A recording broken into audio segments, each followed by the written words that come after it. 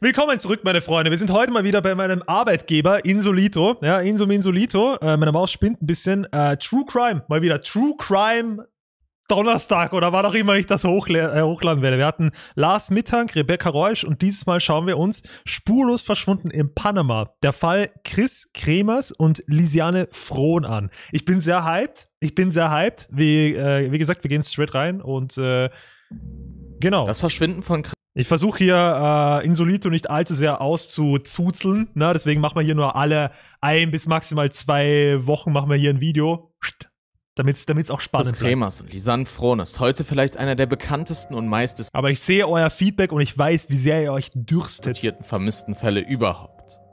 Zwei junge Frauen, die sich nach ihrem erfolgreich abgeschlossenen Studium auf eine Reise ans andere Ende der Welt machen und nie wieder zurückkehren. Auch ich habe schon ganz am Anfang meiner YouTube-Zeit ein Video zu diesem Fall hochgeladen. Bis heute beschäftigt er mich wie kaum ein anderer. Und genau deshalb möchten wir mit dem heutigen Video noch einmal in den Fall einsteigen. Und zwar so umfangreich wie möglich, mit neuen Ansätzen und Theorien. Auch wenn ihr den Fall schon kennen solltet, wird es sich lohnen, dieses Video vollständig anzusehen. Denn es gibt ein... Ich, ich kenne den Fall zu 100% nur oberflächlich. Ich habe nur gehört, dass, dass es den Fall gibt, aber viel mehr weiß ich auch nicht. Einige neue Details, die Raum für neue Annahmen und Spekulationen schaffen. In den nächsten Minuten begeben wir uns gemeinsam mit Chris und Lisanne auf ihre letzte Reise und versuchen nachzuvollziehen, was den beiden jungen Touristinnen im Dschungel von Panama zugestoßen sein könnte und weshalb nie mehr als ein paar Knochen, fragwürdige Telefondaten und verstörende Bilder von ihnen gefunden werden konnten. Mhm. Der lange Videos sind immer so gut, viel besser als solche Shorts, wo alles komprimiert gezeigt wird. Ey, da kannst du wirklich ins Detail gehen. Und ich glaube, bei einem Insolito-Video, das wirklich so eine Stunde geht, da wird halt wirklich alles mit rein. Da ist halt egal, wie lang das Video geht, da ist einfach nur wichtig, dass du halt alles drinnen hast. Und das respektiere ich und das finde ich gut. Und gerade bei so True Crime oder bei, bei wirklichen Videos, wo du vielleicht auch irgendwas aus den, aus den Zuschauern halt herausholen könntest, jetzt nicht, dass es irgendwie annähernd an Aktenzeichen XY oder so halt rankommt, aber trotzdem, wenn du vielleicht dann äh, jemanden erreichst, der vielleicht da irgendwas gesehen haben könnte oder sowas, dann hast du natürlich bei einem aussagekräftigen, langen Video viel mehr Impact als bei einem kurzen Yo, da gab es mal einen Fall, da sind zwei verschwunden und genau, man hat sie nicht mehr gefunden, so. Deswegen, das ist ganz cool. Kapitel 1. Die große Reise. Anfang der 2010er Jahre wird es für junge Menschen immer üblicher, die Welt zu erkunden und auf ausgedehnte Reisen zu gehen. Auch Chris Kremers und Lisanne Frohn aus den Niederlanden möchten sich 2014 nach ihrem abgeschlossenen Studium mit einer großen Reise belohnen. Für die beiden jungen Frauen soll es ins südamerikanische Panama gehen. Das Land winkt mit zahlreichen Nationalparks, großen Urwaldgebieten und endlosen Sandstränden. Noch dazu ist Panama als Reiseziel recht budgetfreundlich. Für die beiden Freundinnen Chris Ey, Panama ist sehr, ist sicher sehr, sehr schön, nur irgendwie je weiter weg etwas ist, desto mehr Sorgen mache ich mir. Einfach automatisch. Im Sinne von, meine Freundin wird gerne nach Thailand, aber erstens, ich scheiß mich an wegen am Flug. Und zwar, ja, safe. Seven vs. Wild, ja, ja, safe. Äh, und äh, zweitens, ich weiß nicht, ich weiß nicht, es ist halt, je weiter du weggehst, desto anders sind auch die Kulturen und anders sind die Menschen und so. So nicht, dass es was Schlechtes ist, nur einfach, ich bin es nicht gewohnt. So, äh, deswegen, wir haben sehr, sehr viel in der EU schon abgeklappert und das fand ich wirklich sehr geil. Also hier, äh, ich war in Deutschland, Polen, Estland, Lettland, Litauen, Italien, obviously, Kroatien äh, und dann noch alle, alle möglichen anderen Länder. Ähm, ich weiß gar nicht, wo ich noch so war. Und Lisanne ist die Destination Panama. Österreich. Also eigentlich perfekt. Chris wurde 1992 geboren und ist zum Zeitpunkt der Reise 21 Jahre alt. 2003. Excalibur City. Ja, ja stimmt, natürlich. Äh, wir waren auch in Tschechien, äh, Ungarn, Budapest. Etzin schloss ihr Studium in Cultural and Social Education an Was? der Universität in Utrecht ab. Ihr war klar, dass sie danach gerne ins Ausland gehen und etwas von der Welt sehen wollte. Außerdem hatte sie vor, nach ihrer Rückkehr noch Kunstgeschichte zu studieren. Lisanne ist ein Jahr älter als Chris und hat ebenfalls gerade ihr Studium abgeschlossen. Sie hat in Devonshire den Studiengang Applied Psychology belegt. Chris und Lisanne lernten sich während der Arbeit in einem Café namens In den kleinen Hub in Amersfoort kennen. Beide kommen süß. ursprünglich von dort und ziehen nach ihrem Studium zurück dorthin, um in dem Café zu jobben und etwas Geld anzusparen. Die beiden wohnen auch zusammen in einer Wohngemeinschaft. Es ist sau dope. Das ist Real Talk sau dope, wenn du im gleichen, wenn du, gut, da kannst du vielleicht ein bisschen am Arsch gehen, aber wenn du in einer, in einer WG wohnst und dann auch noch mit deinem besten Freund so im gleichen Café oder halt gleich, gleichen Job so arbeitest, das ist schon irgendwo Dream. Chris war vorher schon einmal in Peru. Lisanne allerdings hatte noch nie eine große Reise unternommen. Die beiden arbeiten sechs Monate gemeinsam und sparen ihr Geld für den Trip, der sechs Wochen lang dauern soll. Die Reise soll aber mehr als nur ein Urlaub an der panamaischen Küste werden. Chris und Lisanne möchten vor Ort humanitäre Hilfe leisten und erkundigen sich nach Organisationen und Institutionen, die ihnen die Arbeit mit Kindern vor Ort ermöglichen. Und am 15. März 2014 ist es soweit. Zunächst fliegen die beiden jungen Frauen von Amsterdam über Houston nach Costa Rica, ehe sie mit dem Bus nach Panama weiterreisen und in der Provinz Bocas del Toro ankommen. Von dort geht es für die beiden auf eine der vielen Inseln vor der Küste Panamas, Schick. wo Chris und Lisanne sich ein wenig einleben und beginnen Boah. Spanisch. Das ist schon crazy. Meer ist immer sehr, sehr crazy, sehr, sehr wild. Zu Am 29. März reisen die beiden nach etwa zwei Wochen Aufenthalt weiter nach Boquete, einer kleinen Stadt in der Nähe der Grenze zu Costa Rica. Obwohl nur etwa fünf. War da ein fucking Vulkan? Einer kleinen Stadt in der Nähe der Grenze nee, zu Costa Rica. Das, das hat ausgeschaut wie so ein Vulkan oder sowas. Ey, Meeresbrise ohne Spaß. Ich bin jetzt kein, kein so, so Meermensch zu 100%, also ich will jetzt nicht dort leben, ne?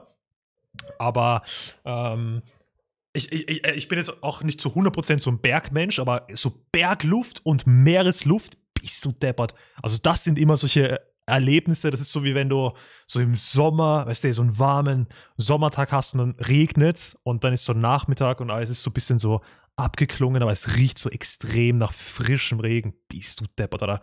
Warum gibt es eigentlich kein Parfum so davon? Einfach so nach, yo, du riechst nach frischem Regen. Das wäre doch sexy. Deppert. Obwohl nur etwa 15.000 Menschen in Bukett leben, wird die Region für Touristen immer beliebter. Es gibt zahlreiche Wanderwege in der abwechslungsreichen Landschaft, Kaffeeplantagen und zwei Sprachschulen. Über eine Reiseagentur haben Chris und Lisanne dort eine Gastfamilie gefunden, bei der sie wohnen können. Chris und Lisanne haben dort ein eigenes Zimmer und sogar einen eigenen Eingang. Die beiden haben geplant, bei der nahegelegenen Schule auszuhelfen. Auch das hatte die Reiseagentur für die beiden organisiert. Doch als die cool. beiden zum vereinbarten Termin an der Schule auftauchen, werden sie abgewiesen. Das der Schulleiter cool. wird später sagen, die beiden jungen Frauen hätten kaum Spanisch gesprochen und wären auch darüber hinaus nicht an der Schule gebraucht worden. Die Planung von Chris und Lisanne ist nun also hinfällig. Beide sind sehr enttäuscht darüber, denn sie bekommen wohl keine richtige Begründung dafür, was bei der Planung schiefgegangen ist. Anstelle eines Arbeitsalltags haben die beiden nun also eine Menge Freizeit, um die Gegend zu erkunden. Am 1. April möchten die beiden eine Wanderung unternehmen und den El Pianista Trail in der Nähe von Bouquet begehen. Inklusive des Hin- und Rückwegs beläuft sich die Route auf etwa 8 Kilometer. Okay, Nach drei Kilometern gibt es einen Aussichtspunkt. Die Route ist bei Einheimischen und Touristen sehr beliebt und gilt gemeinhin als ungefährlich. Zumindest bis zum 1. April. Gibt es da in Panama irgendwelche, ich weiß nicht, irgendwelche wilden Tiere, jetzt so Snakes oder sowas? Das Einzige, was ist so. Das, also so die Schli schlimmsten. Das, das heftigste, was ich so in freier Wildbahn gesehen habe, war einfach Wildschweine. Ne, halt in Österreich so. Aber halt sonst habe ich noch nie irgendwas gesehen. Großkatzen, ja, ja, okay. Okay, okay, okay.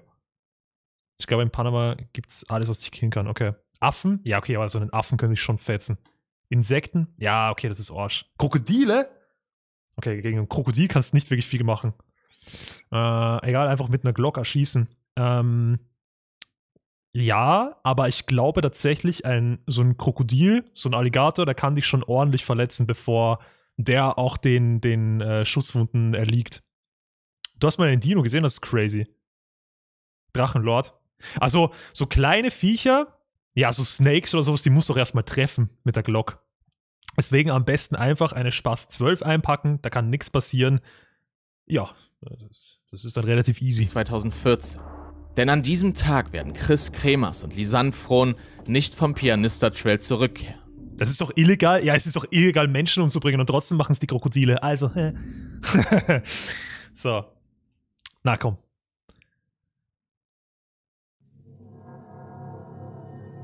Aber generell, ich finde, so eine Reise hört sich sehr, sehr interessant an. Es wäre nichts für mich, aber ohne Spaß in so ein fremdes Land zu reisen und dann auch so in die Schule zu gehen und das so mitzubekommen, wie die Leute dort auch leben, na, das ist schon cool. Das ist schon sehr cool.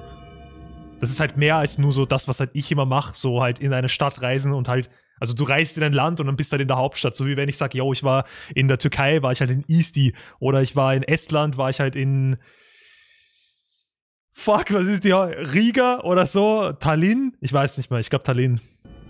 War sehr schön, aber Estland ist ein sehr schönes Land. Am 1. April möchten Lisanne und Chris also zur Wanderung auf dem El Pianista Trail aufbrechen. Ein Taxifahrer namens Leonardo Arthur G. wird später aussagen, er habe die beiden gegen 13.40 Uhr am Startpunkt des Wanderweges abgesetzt. Allerdings widerspricht die Kamera, die die beiden dabei hatten, der Aussage von Leonardo. Die Bilder, die Chris und Lisanne damit gemacht haben, haben nämlich einen Zeitstempel. Und dieser legt nahe, dass die beiden schon um etwa halb zwölf auf dem Wanderweg angekommen sind. Okay. Neben der Digitalkamera haben die beiden Frauen einen Rucksack dabei, etwas Wasser in einer oder zwei Flaschen sowie ihre Handys. Chris besitzt ein iPhone 4, Lisanne ein Samsung Galaxy S3. Am Anfang des Trails befinden sich noch ein paar Häuser, ehe der Weg in den Dschungel mündet.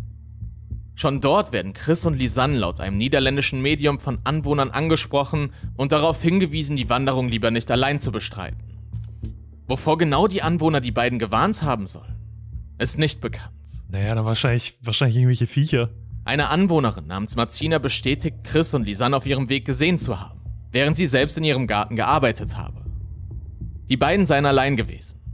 Auch andere Anwohner geben an, die beiden Touristinnen auf ihrem Weg zum Gipfel des El Mirador auf dem El Pianista Trail gesehen zu haben. Okay, aber vielleicht hat er sich auch einfach mal in der Uhrzeit vertan. Das kann ja auch sein. Das kann ja auch die Route sein. soll etwa drei. Noch, noch finde ich nichts allzu crazy daran, weil halt, ja, das ist ja, äh, komm, du bist da irgendwo im Dschungel in Panama und sowas und wenn du dich nicht auskennst, ja, Geister werden es sein. Wenn du dich nicht auskennst, dann äh, kann ich mir schon vorstellen, so, ja, ist vielleicht besser, du nimmst halt irgendwie mit oder du kannst dich ja auch irgendwie verletzen, du kannst da irgendwie ausrutschen und sowas und dann halt, was machst du dann? So, hast keine Ahnung, vielleicht hast kein Medikit dabei oder so. Drei Stunden das dauern. Und eignet gut. sich auch für weniger erfahrene Wanderer. Okay. Ebenfalls am Beginn des Wanderweges befindet sich ein Restaurant namens Il Pianista, das bei Wanderern sehr beliebt ist. Der Besitzer des Il Pianista sagt aus, Chris und Lisanne hätten seinen Hund, einen sibirischen Husky namens Azul, mit auf die Wanderung genommen. Der Hund habe Touristen oft auf dem Trail begleitet. Oh. Normalerweise, jedoch auch auf dem Rückweg. Oh. Doch Azul sei am späten Nachmittag allein zurück zum Restaurant gekommen. Chris und Lisanne seien jedoch nicht wieder aufgetaucht. Außer der Aussage des Restaurantbesitzers gibt es aber keinen Beleg dafür, dass Lisanne und Chris Azul wirklich mitgenommen haben. Ja, warum sollte der lügen? Wir wissen aufgrund von Fotodateien, die auf Lisannes Kamera gefunden wurden, dass Lisanne und Chris gegen 13 Uhr den Gipfel des El Mirador erreicht und dort eine gute Viertelstunde verbracht haben müssen. Ah, okay. Ist es der? Das schaut so aus, als könnte man da, also ich meine, ich sehe keinen Pfad, aber weißt du, äh, als könnte man da, da so gehen. Na, oh ja, das sind mehr als 8 Kilometer. Oder? I don't know. Ja, ist ja wurscht. Die beiden Touristinnen genießen die Aussicht und machen einige Fotos. Um 13.14 Uhr wird über Ach, Lisans Samsung-Handy Google Maps aufgerufen. Doch es wird okay. angenommen, dass die beiden nicht den El Pianista Trail zurückgegangen sind. Hätten sie das getan, hätten sie gegen etwa 15 Uhr wieder zurück am Startpunkt sein können. Stattdessen gilt es auf Basis weiterer Fotos als gesichert, dass die beiden den Gipfel herunter tiefer in den Dschungel gelaufen sind. Was danach geschehen ist, weiß bis heute leider niemand. Fest steht aber zweifelsfrei, die beiden Niederländerinnen kehren am 1. April nicht von ihrer Wanderung zurück. Gegenüber einer niederländischen Zeitung soll die Gastmutter Miriam gesagt haben, es sei recht normal, dass junge ausländische Touristen auch mal über Nacht fortbleiben würden. Also wenn ich mit einem süßen Hund wandern gehen würde, würde ich auch von dem Fotos machen. Ja, maybe.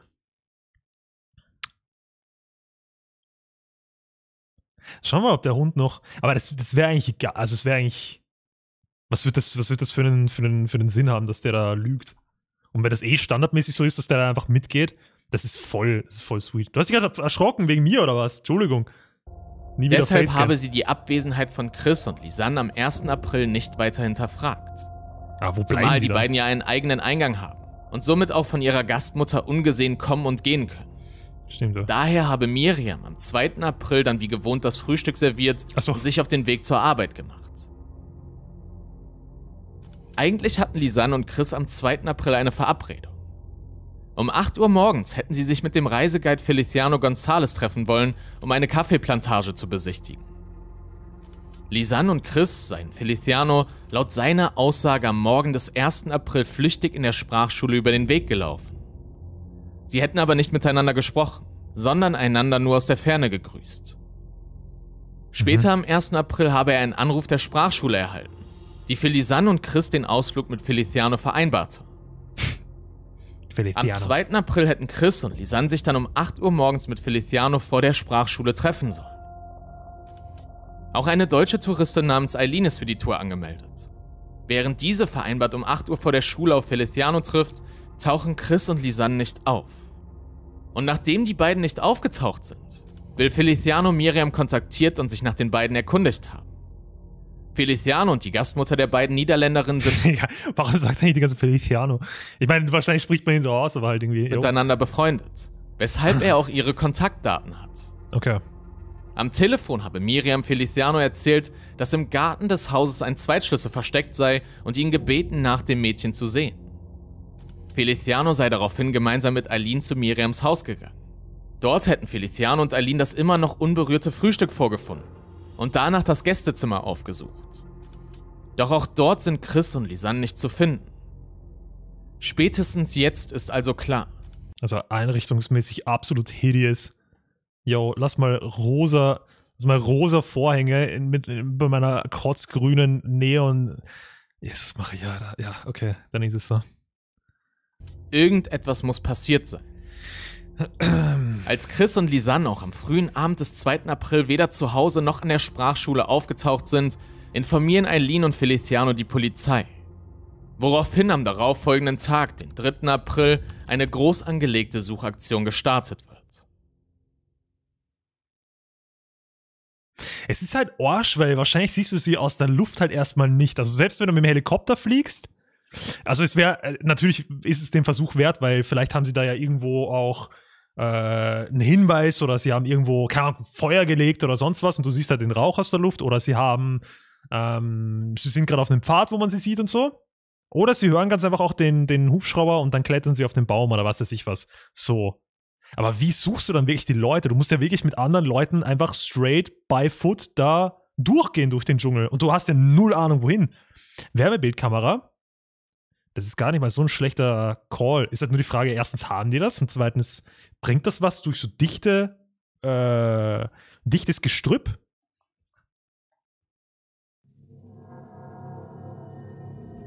Die Suche, okay, wir werden es herausfinden. In dem verschlafenen Örtchen Bouquet ist von nun an nichts mehr so, wie es einmal war. Helikopter kreisen auf der Suche nach Lisanne und Chris über den El Pianista. Aber das sieht halt auch gar. Ja, schau, hier, Helikopter. Aber das sieht halt auch gar nicht mal so groß aus.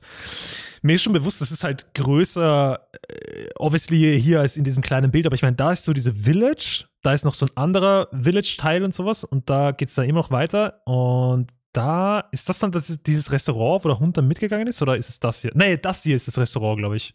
Und ab da sind sie dann so weitergegangen. Und das ist ja relativ offen hier. Es ist relativ offen hier, dann ist hier so ein bisschen Dschungel. Und dann wird da irgendwo hier so der Peak sein.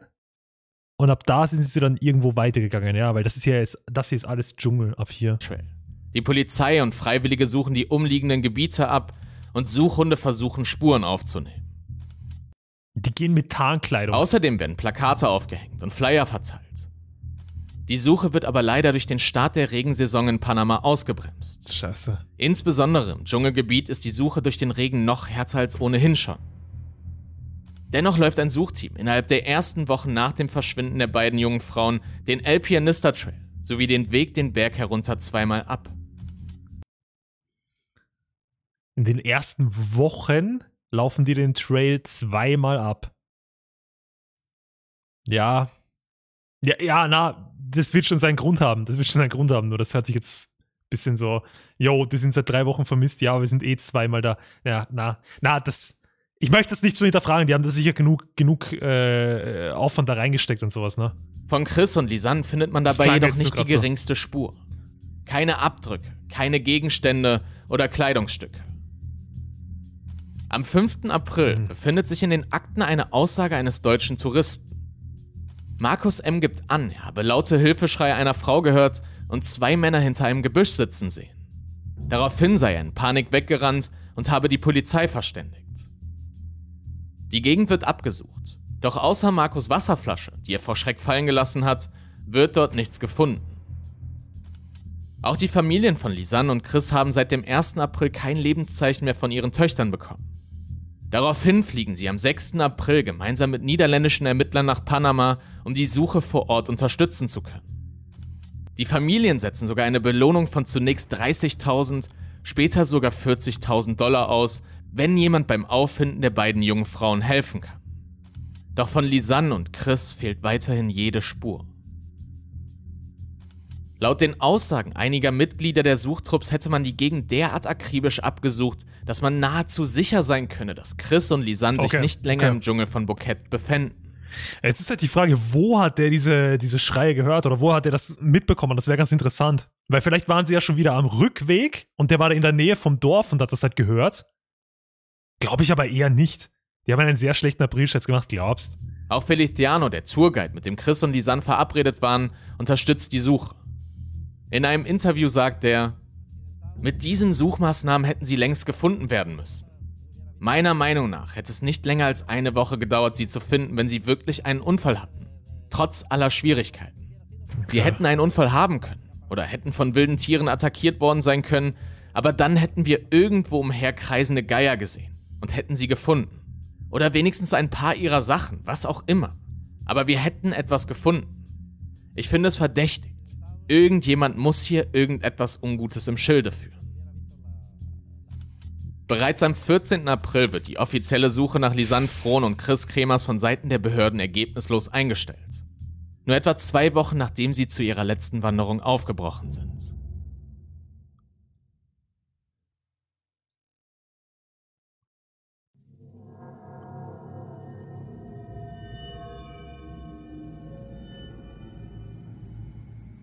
Ist ja wirklich Horsch, was machst du dann zwei Wochen danach und die haben alles im Umkreis abgesucht, jedes Blatt unter Anführungszeichen umgedreht und die sind da halt nicht.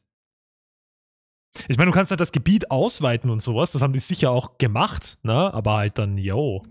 Mittlerweile ist es der 12. Juni 2014. Irgendwann wird es ja auch wirklich gefährlich, auch für den Suchtrupp und sowas, weil dann bist du halt auch in Gebieten, wo es vielleicht keine Infos gibt oder sowas, wie man halt dort, also, weißt du, da ist halt dann reißerischer Fluss und sowas und dann ist halt auch die Frage, okay, wo haben halt vielleicht irgendwelche Wildtiere ihr Territorium oder sowas, wo man vielleicht, ähm, keine Ahnung, na, wo man sich nicht auskennt und sowas und dann wird noch irgendwer anderer verletzt und sowas. Es gibt ja öfter mal bei irgendwelchen Suchtrupps oder Rettungsaktionen andere Verletzte, die, die leider Gottes da äh, eben ähm, dabei aufkommen, ne? Verletzte oder auch schlimmer, ne? 14.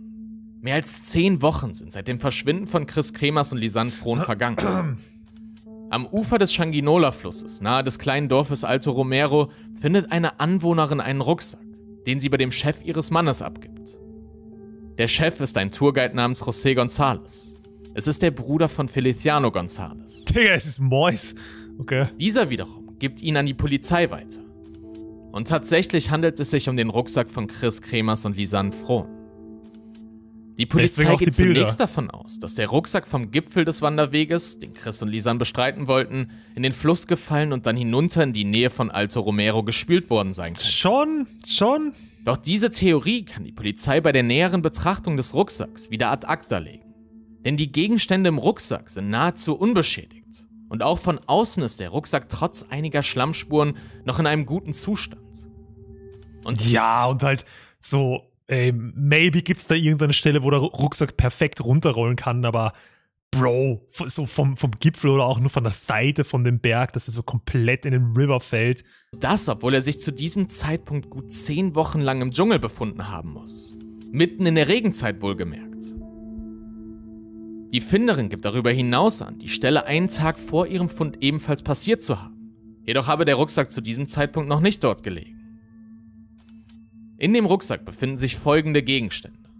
Zwei Paar Sonnenbrillen, etwa 88 Dollar Bargeld, Lisans Pass, eine Wasserflasche, zwei BHs, zwei Muscheln, Lisans Kamera und die Handys von Chris und Lisanne. Die Handys sollen sich in Plastiktüten befunden haben. Die technischen Gegenstände in den Rucksäcken befinden sich in einem guten Zustand. Okay, das ist fucking sus. Dass die in Plastiktüten waren? Wenn's da, okay, wenn es damals geregnet hätte, als sie unterwegs waren, dann lasse ich mir einreden, okay, du gibst dann hier irgendwie die Handys rein und sowas, damit es halt nicht Ding.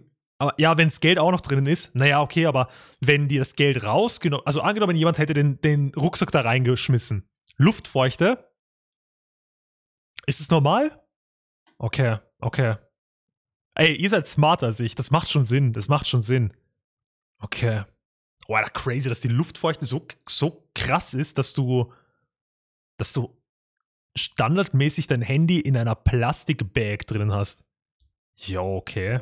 Auch das spricht gegen die Annahme, der Rucksack könnte den Fluss hinuntergetrieben sein. Smart wie ein kleines Auto, ja. Außerdem könnte dies sogar ein Indiz dafür sein, dass der Rucksack an einem wirklich trockenen Ort, zum Beispiel in einem Gebäude oder zumindest unter einem Dach aufbewahrt worden sein könnte. Ah, ja, andererseits, wenn sie jemand entführt hätte und den Rucksack da reingeschmissen hätte, dann hätte er wahrscheinlich die Handys mitgenommen, oder? Oder zumindest irgendwie kaputt gemacht, sodass man dann nicht mehr ausfindig machen kann, yo, das und das Foto ist da noch drauf oder da waren sie noch zum, zum, zu Google Maps connected und deswegen, äh, weißt du, dass man quasi das so nachverfolgen kann, wann sie wo waren. Sondern der hätte wahrscheinlich einfach das Handy irgendwo vergraben oder so. Könnte. Denn in den vorigen Wochen hat es in der Gegend sehr stark geregnet. Einzig Chris iPhone 4 hat einen Wasserschaden, der später aber behoben werden kann. ja, weil, Bruder. Sodass alle Daten gesichert werden können. Genaueres dazu erzähle ich gleich im nächsten Kapitel. Der Rucksack wird natürlich akribisch auf Spuren untersucht. Und tatsächlich können 13 DNA-Spuren sichergestellt werden. Diese gehören jedoch nicht zu Chris und Lisanne, sondern zu mindestens zwei anderen verschiedenen Frauen und einem Mann. In der DNA-Datenbank ist ein Abgleich erfolglos. Man vermutet, dass die Witterungsbedingungen die Spuren von Chris und Lisanne vom Rucksack verwischt haben könnten. Die nicht identifizierten DNA-Spuren könnten eventuell von der Finderin und den Ermittlern stammen.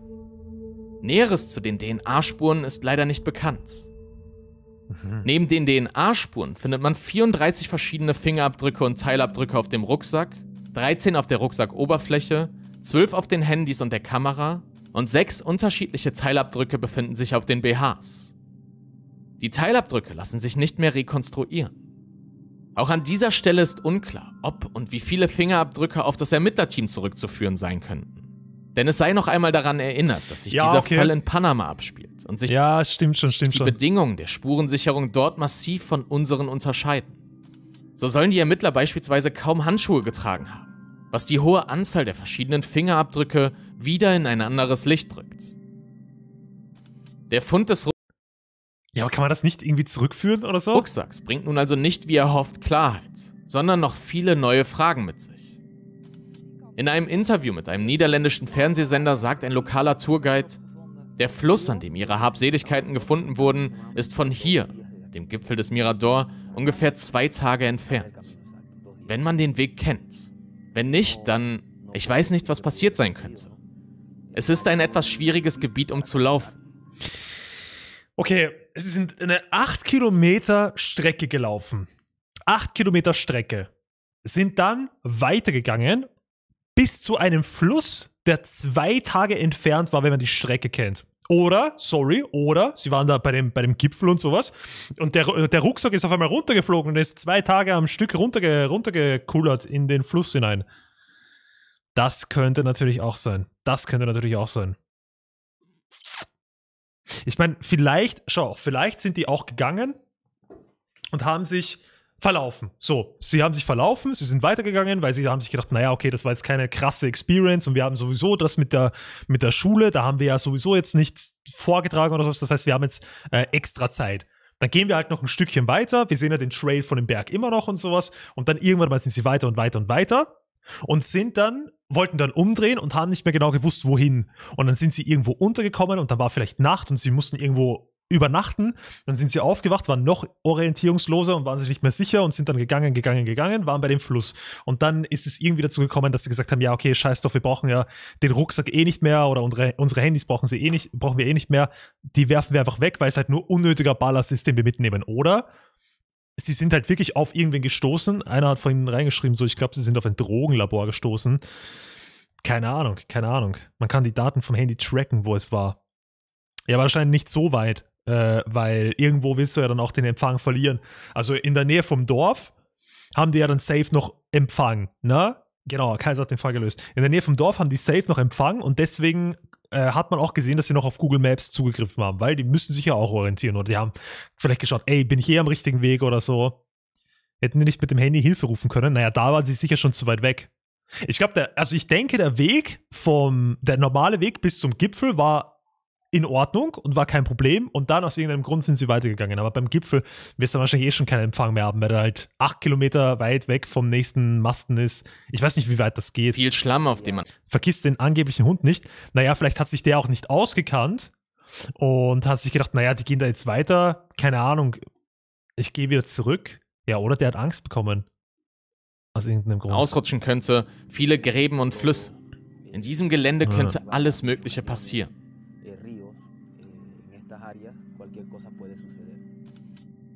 Wie kann der Rucksack sich nach mehreren Wochen im regnerischen Dschungel in solch einem guten Zustand befinden?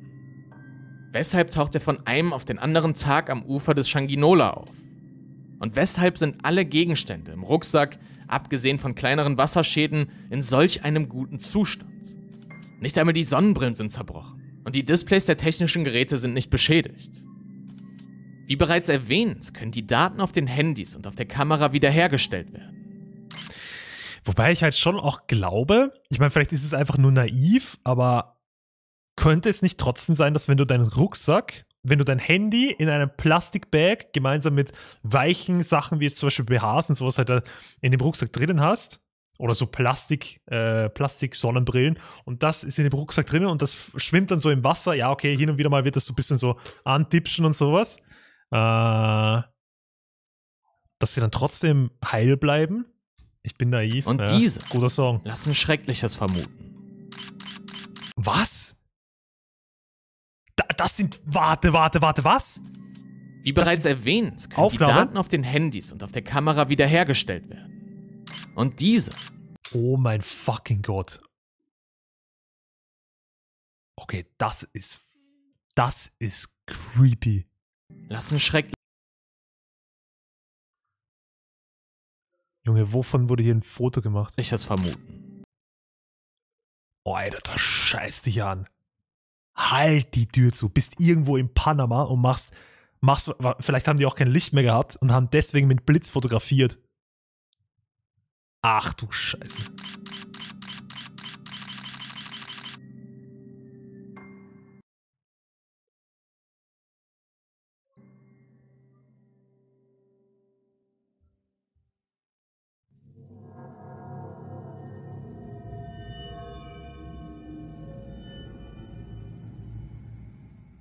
Mit der Untersuchung der Handys von Chris und Lisanne wird klar, die beiden müssen versucht haben, Hilfe zu holen. Wofür Insekten suchen auf Haaren wahrscheinlich. Ey, ich hoffe, das war das. Für auch immer. Schon am 1. April, also dem Tag der Wanderung, Ihr wird über so das smart, iPhone 4 um 16.39 Uhr 112 angerufen. Ihr habt richtig gehört. Warte mal, um wie viel? 16.39 Uhr, okay, die waren um, um 12.30 Uhr ungefähr waren die schon auf dem Trail. Der Taxifahrer oder wer auch immer hat gesagt, er hat sie um 14.30 Uhr dort abgesetzt. Das war ja schon viel früher. Und um 15 Uhr irgendwas müssten die schon wieder zurück sein. 15.30 Uhr sowas müssten die wieder zurück sein, wenn ich das richtig in Erinnerung habe. Deswegen, okay. 4 um 16.39 Uhr 112 angerufen. Ihr habt richtig gehört. Die 112. Das ist auch in den Niederlanden der Heimat von Lisanne und Chris, die Notrufnummer. Nicht aber in Panama. Die Nummer funktioniert aber auch dort. Wählt man sie an, wird man zum panamaischen Notdienst weitergeleitet. Vorausgesetzt, man kommt durch. Doch das Signal im Dschungel scheint nicht gut genug zu sein, denn die Verbindung kann nicht hergestellt werden. Dennoch wird zwölf Minuten später, um 16.51 Uhr, auch über das Samsung Galaxy die 112 angewählt. Auch dieser Anruf kommt nicht durch. Etwa drei Stunden vor diesen beiden Anrufen wurde mit Lisans Kamera das letzte Foto des Ausflugs aufgenommen. Mhm, mhm, mhm. Und Okay, ist halt die Frage, ist jetzt dieser Bach ein Teil von dem Weg oder ist es wirklich irgendwo im Nirgendwo? Die Frage ist halt, wenn sie entführt worden wären, hier so, jemand hat geschrien, weil da Männer im Busch gewartet, im Busch gewartet haben, dann hatten sie dann wirklich Zeit, so über eine Viertelstunde äh, solche Calls zu tätigen von beiden Handys? Innerhalb dieser drei Stunden muss also irgendetwas passiert sein.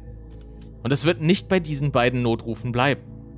Doch zunächst werden beide Telefone etwa eine Stunde nach den 112-Anrufen ausgeschaltet. Was könnte Chris und Lisander dazu verleitet haben, jeweils den Notruf zu wählen? Okay, Handy ausschalten ist smart wegen Akkusparen. Und warum folgen auf diese beiden Versuche zunächst keine weiteren? Wenn man wirklich dringend Hilfe brauchen würde, sagen wir, weil eine der beiden sich schwer verletzt oder die beiden sich so verirrt hätten, dass sie den Weg zurück nicht mehr finden würden, würde man dann nicht immer und immer wieder versuchen, eine Verbindung herzustellen? Ich würde das, würd das aber auch so machen. Nee, ich glaube, das war schon richtig so. Du rufst an und du hast absolut gar kein Netz. Dann sagst du, ja, okay, hast du vielleicht ein Netz? Probier es von deinem Handy. Nee, aber auch gar, äh, absolut gar kein Netz. Deswegen einfach abschalten, erstmal Akku sparen. Vielleicht gehen wir irgendwo weiter. Das ist wahrscheinlich passiert. Dann sind die irgendwo weitergegangen, haben gesucht nach irgendeiner äh, offenen Stelle oder sowas.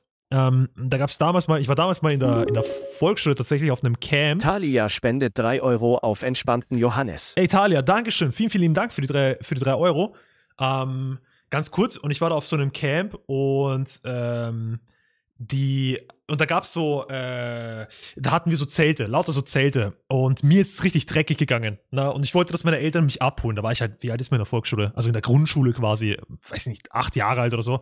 Und ich wollte meine Eltern anrufen, aber ich konnte nicht. Und der einzige Weg, wie ich sie anrufen konnte, wegen, wegen Empfang, war die sogenannte Handywiese. So haben wir das genannt. Und die Handywiese, das war so ein Weg von zehn Minuten, wenn überhaupt. Und da bist du halt so durch den Wald gegangen, so den Berg rauf. Und oben war so eine Wiese und da hattest du Empfang. Und dann bin ich auf die Handywiese gegangen, habe da angerufen und bin wieder runtergegangen und habe dann auf meine Eltern gewartet.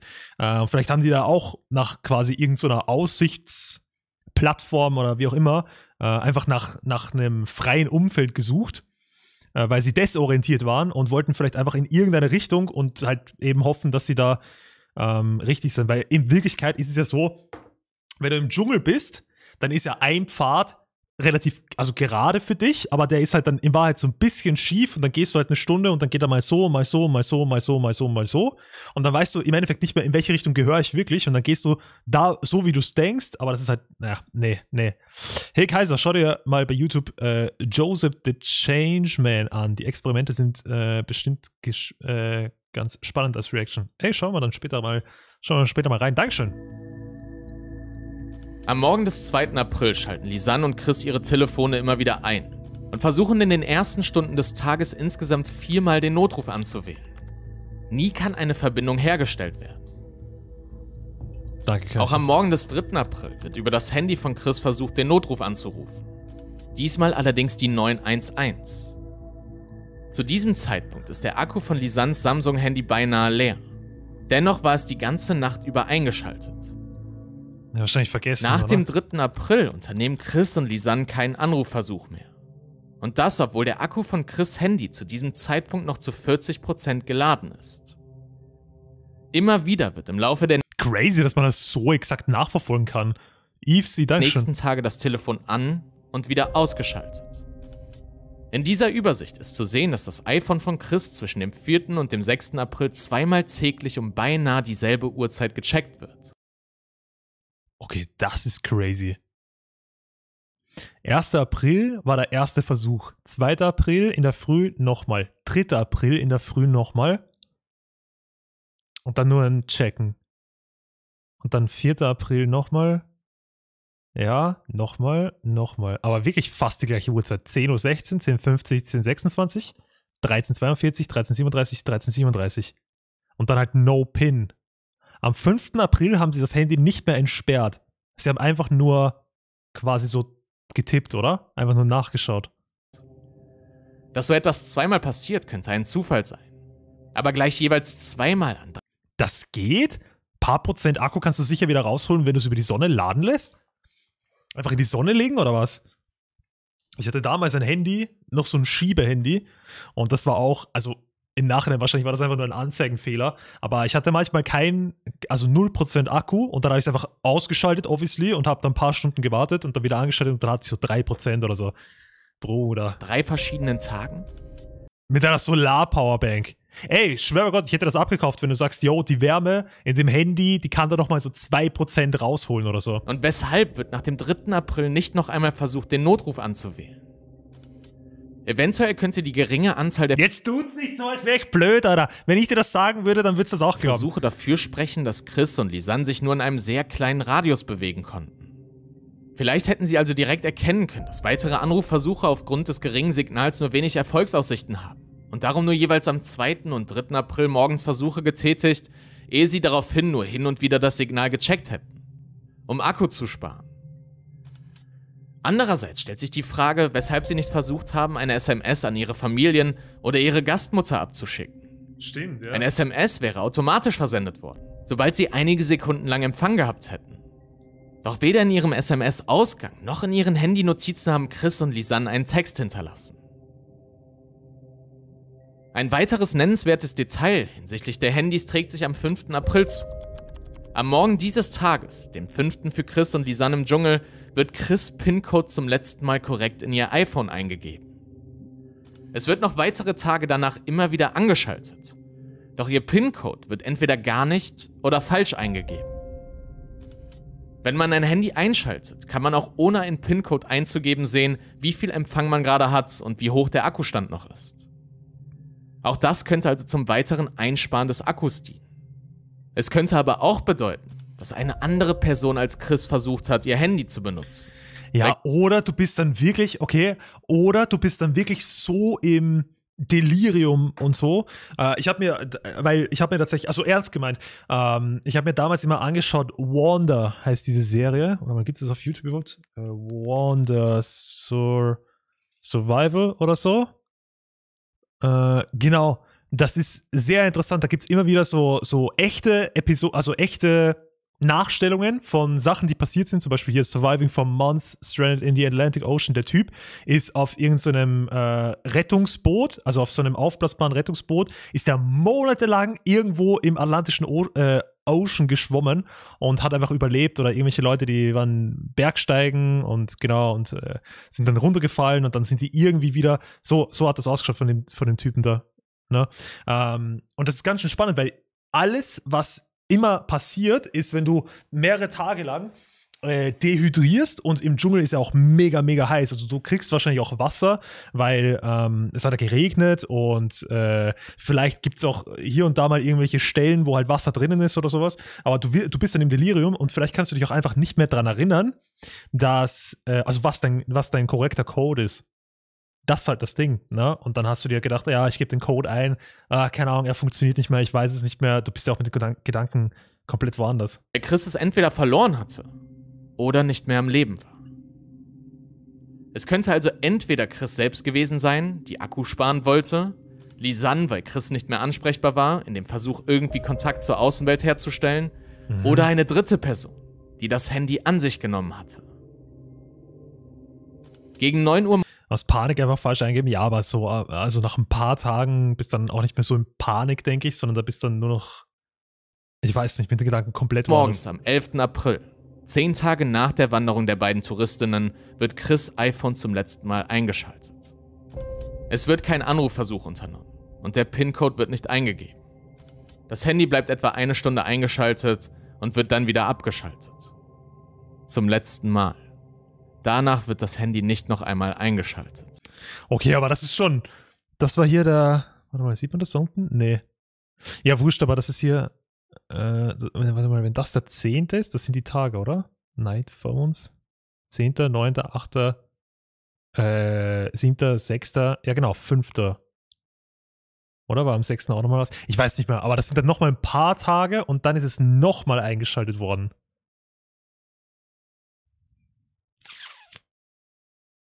Also am Anfang, am Anfang macht das Sinn, die, die versuchen einen Notruf zu tätigen, dann immer, immer mehr und dann sind sie doch connected zum Netz und dann immer weniger und weniger und weniger. Und dann, und dann vergessen sie auf einmal die PIN-Codes, dann ist gar nichts mehr und dann wird nochmal das Handy eingeschaltet. Das ist halt so weird.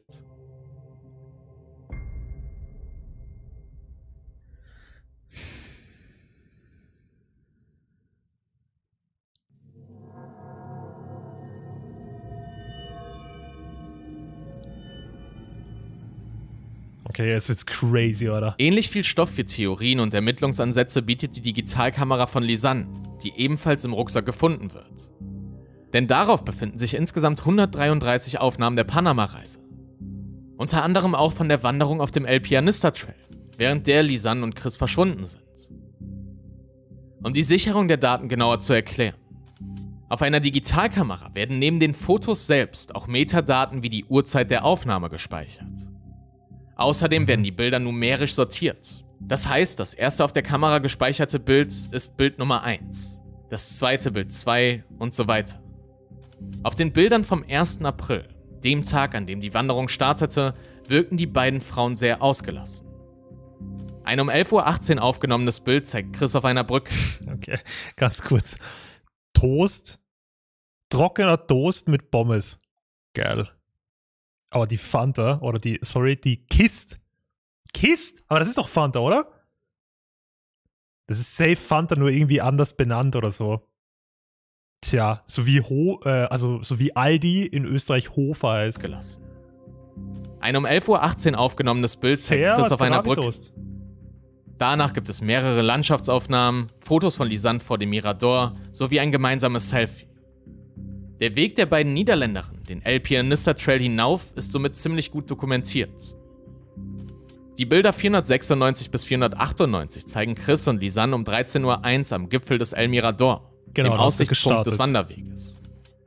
Tatsächlich sind die beiden dort also angekommen und sehen weiterhin sehr fröhlich aus. Beide lachen in die Kamera. Bis 13.15 Uhr folgen einige weitere Fotos der beiden, aufgenommen sowohl mit der Digitalkamera als auch mit den Handys. Sie zeigen sowohl Chris und Lisanne selbst als auch die Umgebung. Auf Basis dessen, was auf den Fotos zu sehen ist, geht man davon aus, dass alle Fotos bis 13.15 Uhr auf dem Gipfel des Mirador aufgenommen wurden. Mhm.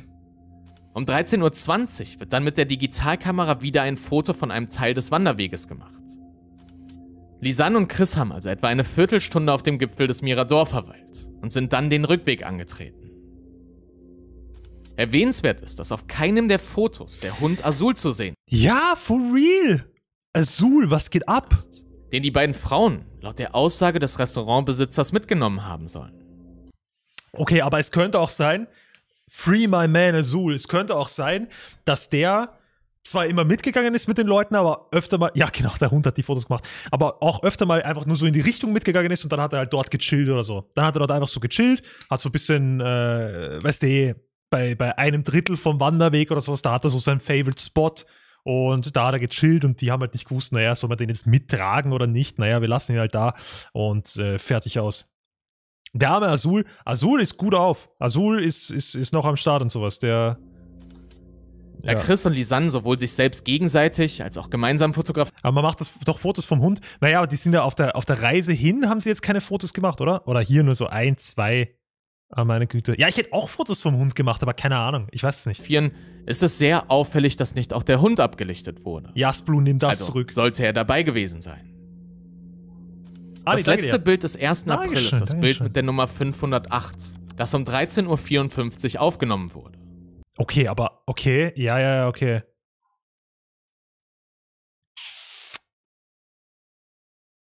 Es wird erst Tage später mit dem Bild 510 weitergehen.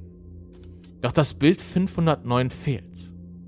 Es wurde von der Kamera gelöscht. Die Ermittler versuchen das Bild wiederherzustellen, doch ohne Erfolg. Es befinden sich also keinerlei Metadaten des Bildes mehr auf der Speicherkarte der Kamera. Die niederländischen Behörden gehen deshalb davon aus, dass dieses Bild nicht nur händisch von der Kamera, sondern vielmehr über einen Computer gelöscht wurde. Sie stellen die These auf, die Kamera müsse an einen Computer angeschlossen worden sein, über den das Bild dann gelöscht wurde. Das würde bedeuten, jemand müsste die Kamera an sich genommen und an einen Ort gebracht haben, an dem es einen Computer gibt, über diesen das Bild gelöscht und dann die Kamera zurück in den Rucksack von Lisanne und Chris getan haben. Aber ich meine, ich, das, das ist, das ist, aber warum überhaupt? Weil, das, weil du quasi normal gelöschte Bilder wiederherstellen könntest? Es könnte sein. Ich habe das, okay, ich habe das immer bei meiner Kamera, wenn ich da ein Video davon lösche, dann habe ich immer noch so, so eine andere Datei auf der Kamera von diesem Video und das lösche ich dann immer auf meinem, auf meinem äh, PC. Äh, dann hätten sie die anderen komischen Bilder auch gelöscht. Das habe ich mir nicht auch gedacht.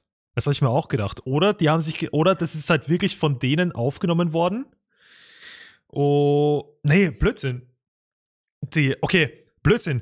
508 war das letzte Bild, was halt ganz normal war. 509 wurde gelöscht und die anderen Bilder sind dann halt einfach weirde in der Nacht entstandene Bilder.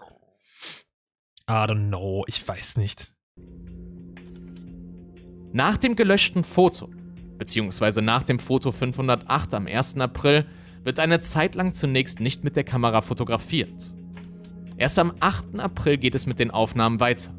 Und sie sind deutlich rätselhafter als Eine zuvor. Woche. Eine Woche nach dem vorerst letzten Foto auf der Digitalkamera gibt es 100 Fotos mit den Nummern 510 Wow. bis 609. Aufgenommen in der Nacht und mit Blitz. Die Fotos von Nummer 510 bis 594 werden zwischen 1.29 Uhr und 1.58 Uhr lokaler Zeit aufgenommen. Boah, das ist so creepy. Teilweise liegen zwischen ihnen laut den Metadaten nur wenige Sekunden. Besonders sticht das Foto 550 heraus. Es zeigt einen Zweig, an dessen Enden rote Plastiktüten geknotet wurden. Auf einem anderen Foto meinen einige ein SOS-Zeichen erkennen zu können. Was? Wo? Ach so, was sie quasi auf dem, auf dem, auf dem äh, Boden gemacht haben, damit, falls ein Hubschrauber kommt. Boah, ich dachte gerade, da steht jemand. Junge. Das, also das mit das hier könnte sein, weil sie sich selber Markierungen gesetzt haben.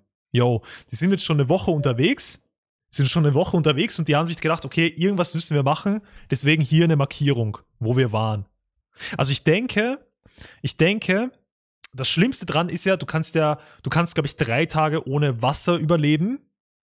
Kommt natürlich auch darauf an, wo du bist. Also wenn du jetzt irgendwo im Dschungel bist oder sowas, dann wird es wahrscheinlich wesentlich äh, schneller sein, dass du halt wieder Wasser brauchst, weil es ist fucking heiß. So. Aber ähm, dadurch, dass sie, dass sie da an verschiedenen Bächen und sowas halt Bächen, ist das die, ist, äh, an verschiedenen, an einem Bach und auch mehreren vorbeigegangen sind, ähm, werden sie, glaube ich, Wasser gefunden haben. Ne? Gehe ich jetzt mal davon aus. Vielleicht ist auch die Luftfeuchtigkeit so Bachi.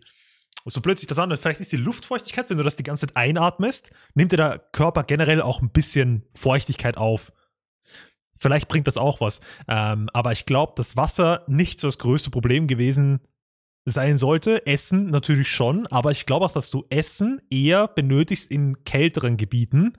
Und wenn du, ähm, wenn du irgendwo bist, wo du äh, generell Hitze und sowas halt hast, dann hat der Körper nicht wirklich, er braucht nicht viel Energie, um sich selber zu erwärmen. Er braucht nur Energie, um quasi sich selber fortzubewegen. Aber sie haben ja auch gesagt, sie waren in keinem großen Radius, deswegen vielleicht sind sie auch nicht wirklich viel herumgegangen oder so. Deswegen haben sie auch länger überlebt. Ich meine, ohne Essen zu überleben kannst du wirklich lange, kannst du echt lange. Und vielleicht hatten sie auch noch was dabei im Rucksack. Vielleicht hatten sie noch hier einen Schokoriegel dabei oder sowas und den haben sie am Tag zwei oder drei gegessen. Und das haben sie halt dann irgendwo weggeworfen und darum hat man es halt nicht mehr gefunden. das aus kleinen Kartenschnipseln auf einen Stein gelegt worden sein könnte. Eines der bekanntesten Fotos ist das Bild 580. Ja, das ist Aufgenommen, um weird. 1.49 Uhr. Es zeigt mutmaßlich den Hinterkopf von Chris. Einige meinen Blut an Chris Kopf erkennen zu können. Was die Theorie nähren würde, Chris hätte einen Unfall gehabt. Nee, wo? Da unten oder was? Das ist nur, das ist nur Licht. Das ist nur das Licht. Und Lisanne hätte daraufhin erfolglos versucht, Chris Handy zu entsperren, um Hilfe zu holen. Andere wiederum meinen, Chris sei auf diesem Foto nicht von hinten, sondern von vorne zu sehen. Und ihre Haare würden lediglich über ihrem Gesicht hängen. Am unteren rechten Rand sei ihr rot-weißes Trägertop zu erkennen. Es ist nicht klar zu erkennen, ob es wirklich Chris ist, die auf dem Foto zu sehen ist, und in welchem Zustand sie bei der Aufnahme ist. Es fällt jedoch auf, dass das Haar auf dem Foto sehr sauber aussieht. Wenn das Foto wirklich Chris zeigt, müsste Stimmt. sie zu diesem Zeitpunkt immerhin eine Woche im Dschungel verbracht haben. Doch das Haar wirkt beinahe, als sei es gerade frisch gewaschen worden. Das könnte darauf hindeuten, dass die beiden sich in einem geschützten Raum, etwa in einer Höhle, aufgehalten haben könnten. Doch diese Möglichkeit wurde von den Behörden leider nicht weiter verfolgt. Auch zwischen den. Also, wenn es wer anderer gewesen wäre als Chris, dann wäre auch dieses Foto, sollte es, sollte eine externe Person da involviert sein, wäre auch dieses Foto, denke ich, gelöscht worden. Weil das ist schon sehr auffällig. Also wenn du jetzt irgendwie die, äh, da der Entführer bist oder sonst was und dann sind deine Haare da einfach abfotografiert worden, dann würde ich das auch löschen. Fotos 595 bis 608 liegen teilweise nur wenige Minuten. Ehe um 4.10 Uhr mit 609 Boah. das letzte Foto mit der Digitalkamera aufgenommen wird. Beinahe 40 Minuten nach Foto 607. Okay, da, die Fotos sind safe aufgenommen worden, weil sie nichts gesehen haben. Deswegen ja auch mit Blitz. Deswegen auch mit Blitz. Und um 4.10 Uhr, da wird es dann schon langsam wieder heller. Und da, ich weiß nicht, wie das in, in Panama ist, ne? aber da wird ja auch die Sonne irgendwann mal aufgehen, schätze ich mal. Und da wird es dann schon langsam wieder heller, auch wenn nur erstmal der Himmel etwas heller ist. Du musst ja versuchen, so viel Akku zu sparen wie möglich bei allen Geräten. Und da werden sie dann gesagt haben, ja, okay, jetzt brauchen wir die Kamera nicht mehr. Die Fotos sind alle so dunkel, dass man kaum etwas auf ihnen erkennen kann. Boah, Bruder. Die weißen Punkte auf ihnen könnten Regentropfen sein die vom ah, Blitzlicht der Kamera reflektiert werden. Doch was faszinierend ist, auf keinem dieser Fotos sind eindeutig Chris oder Lisanne zu sehen. Ja, weil das ja nicht wichtig Warum ist. haben sich Chris und Lisanne oder eine der beiden dazu entschieden, diese Fotos aufzunehmen? Auffällig ist, dass viele Bilder mit Blitz in der stockdunklen Nacht aufgenommen wurden. Vielleicht wäre es möglich, dass Chris und Lisanne den Blitz als eine Art Taschenlampe benutzt haben um ihre Umgebung wenigstens für den Bruchteil einer Sekunde erkennen zu können. Eine weitere Möglichkeit wäre, dass die beiden versuchten, auf sich aufmerksam zu machen und deshalb mit Blitzlicht in den das Himmel fotografierten. Trotzdem bleibt dann aber noch die Frage, weshalb sieben Tage lang überhaupt keine Bilder entstanden sind. Und warum die Serie der Nachtfotos so abrupt aufhört, wie sie begonnen hat. Denn auf der Speicherkarte wäre Platz für weitere Bilder gewesen. Hm. Kann man da auch den Akku nachschauen? Vielleicht hatten sie keinen Akku mehr? Die Funde, okay. Okay. Am 18. Juni findet Feliciano González gemeinsam mit Mitgliedern des Stammes der Ngobi hinter einem Baum etwas. Wir erinnern uns, Feliciano ist der Mann, mit dem Chris und Lisanne am 2. April für die Besichtigung der Kaffeeplantage verabredet waren. Er findet einen Schuh, in diesem Schuh steckt ein abgetrennter Fuß. Daneben liegt ein Beckenknochen, der fast in zwei Hälften zerbrochen ist. Der Soll Fuß stammt von Lisanne Froh, der Beckenknochen von Chris Kremers. Es ist nun also traurige Gewissheit. Die beiden jungen Niederländerinnen haben die Wanderung am El Pianista Trail nicht überlebt. Okay. Der abgetrennte Fuß von Lisanne wird forensisch untersucht. Knochen sind Laut den Ermittlern okay. sei der Bruch auffällig sauber. Gleichzeitig gibt es aber keine Anhaltspunkte dafür, dass jemand den Fuß abgeschnitten oder abgehackt haben könnte. Ja, Auch gibt es keine Spuren von Tierzähnen oder Krallen. Okay, man sieht hier eh nichts drauf. Ich werde trotzdem der Vorsicht. Na, man sieht hier überhaupt nichts drauf. Äh, überhaupt nichts. Aber trotzdem, ich, ich habe hier Bruder. Woher wissen Sie das? Ja, DNA. Aber wie? Raubtiere? Raubtiere wäre machbar.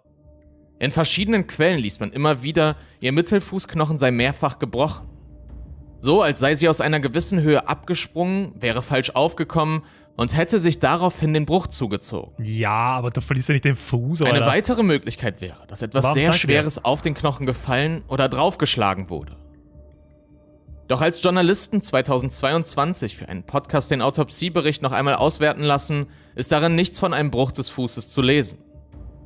Eventuell ist diese Information also nicht richtig und wurde einfach unbegründet immer wieder rezipiert. Am 22. Juni 2014 wird ein weiterer Fund gemeldet. Etwa zwei bis drei Kilometer vom Fundort des Rucksacks entfernt werden die Okay, okay, okay, okay. Jeans-Shorts von Chris gefunden. Zu dem Auffinden gibt es mehrere widersprüchliche Angaben. In einigen Berichten heißt es, die Hose habe fein säuberlich gefaltet auf einem Felsen neben einem Fluss gelegen. Der Finder der Hose selbst soll angegeben haben, die Hose im Fluss treibend gefunden zu haben. In der Ermittlungsakte wiederum heißt es, die Hose sei auf einem Zweig gefunden worden, der über dem Fluss hing. Welche Version davon stimmt, weiß man leider nicht. Wie, wie geht das? irgendwer muss zur Polizei gegangen sein und muss gesagt haben, yo, by the way, ich habe diese Hose gefunden. Ah, wo? Ort XY. Hä? Einen weiteren Fund gibt es am 3. August am Ufer des Flusses. Man findet. Ich lasse mir einreden, wenn du sagst, naja, okay, wo habe ich die Hose gefunden? Ah, auf einem Zweig oder äh, auf dem Boden, weil der, die ist gerade vom Zweig runtergefallen oder irgendwie so, keine Ahnung. Ähm, aber so, yo, auf einem Zweig oder mitten im Fluss. Und ich habe sie dann rausgefischt und habe sie zusammengefaltet. Das ist schon ein Unterschied. Schon ein Unterschied. Schädelteil. Okay, warte mal ganz kurz. Okay, äh, da, da, da. Chris Kremers Rippe. Chris Kremers Jeans. Warum wurde das immer weiter? Ah, okay. Hm, pass auf, pass auf, pass auf. Wo, wo wurde dann der Schuh gefunden? Von da sind sie losmarschiert. Sind dann hier gewesen. El Pian Pianista Trail sind dann weiter auf diesen Gipfel gegangen oder so, sind dann irgendwo da vielleicht verloren gegangen. Ich weiß nicht jetzt, wo der Schuh war, ich kann das nicht zuordnen, aber vielleicht ist dann halt ein bisschen was da in den Fluss rein und das ist dann halt da runtergetrieben worden und deswegen haben sie da die Jeans gefunden, die hat jemand rausgefischt oder auch nicht. Vielleicht ist die auf einem Stecken gewesen, man weiß es nicht. Vielleicht ist die irgendwo äh, auf, einem, auf einem Rock transportiert worden. Ähm, Chris Kremers Rippe. Und Rippenknochen. Laut ersten Medienberichten. Weil das ist ja alles in, in der Nähe von einem Bach. Und es wurde ja auch der Rucksack in diesem Bach gefunden, oder? Gehören diese aber nicht zu Chris oder Lisanne, sondern zu Einheimischen. Was? Am 15. August wird jedoch bekannt gegeben, dass der gefundene Rippenknochen zu Chris Kremers gehört. Die anderen menschlichen Überreste stammen laut des Buches Lost in the Jungle, The Mysterious Disappearance of Chris Kremers and Lisanne Frohn in Panama von einem Kind, einem Mann und Tieren. Chris Rippenknochen weist eine Besonderheit auf. Er ist so weiß, dass man denken könnte, er wäre gebleicht worden. Insbesondere im Vergleich zum Beckenknochen, der eine ganz andere, für einen Verwesungsprozess normalere Farbe aufzeigt. Die Färbung könnte theoretisch auch durch permanente Sonneneinstrahlung oder die Beschaffenheit des Erdbodens verursacht worden sein. Okay. Aber dass der Knochen durch das Sonnenlicht derart verblasst ist, dürfte unwahrscheinlich sein. Denn es war ja Regenzeit und somit gab es weniger Sonnenstunden. Also geblichen, glaubst du wegen DNA, dass da irgendjemand sich gedacht hat, ah, ich bin mir nicht sicher, ob man das nicht nachweisen kann und dann dann einfach geblichen hat? Als mögliche Ursache für die auffällige Farbe des Knochens bleibt also entweder der Erdboden vor Ort oder dass der Knochen von jemandem mit Bleichmittel behandelt wurde.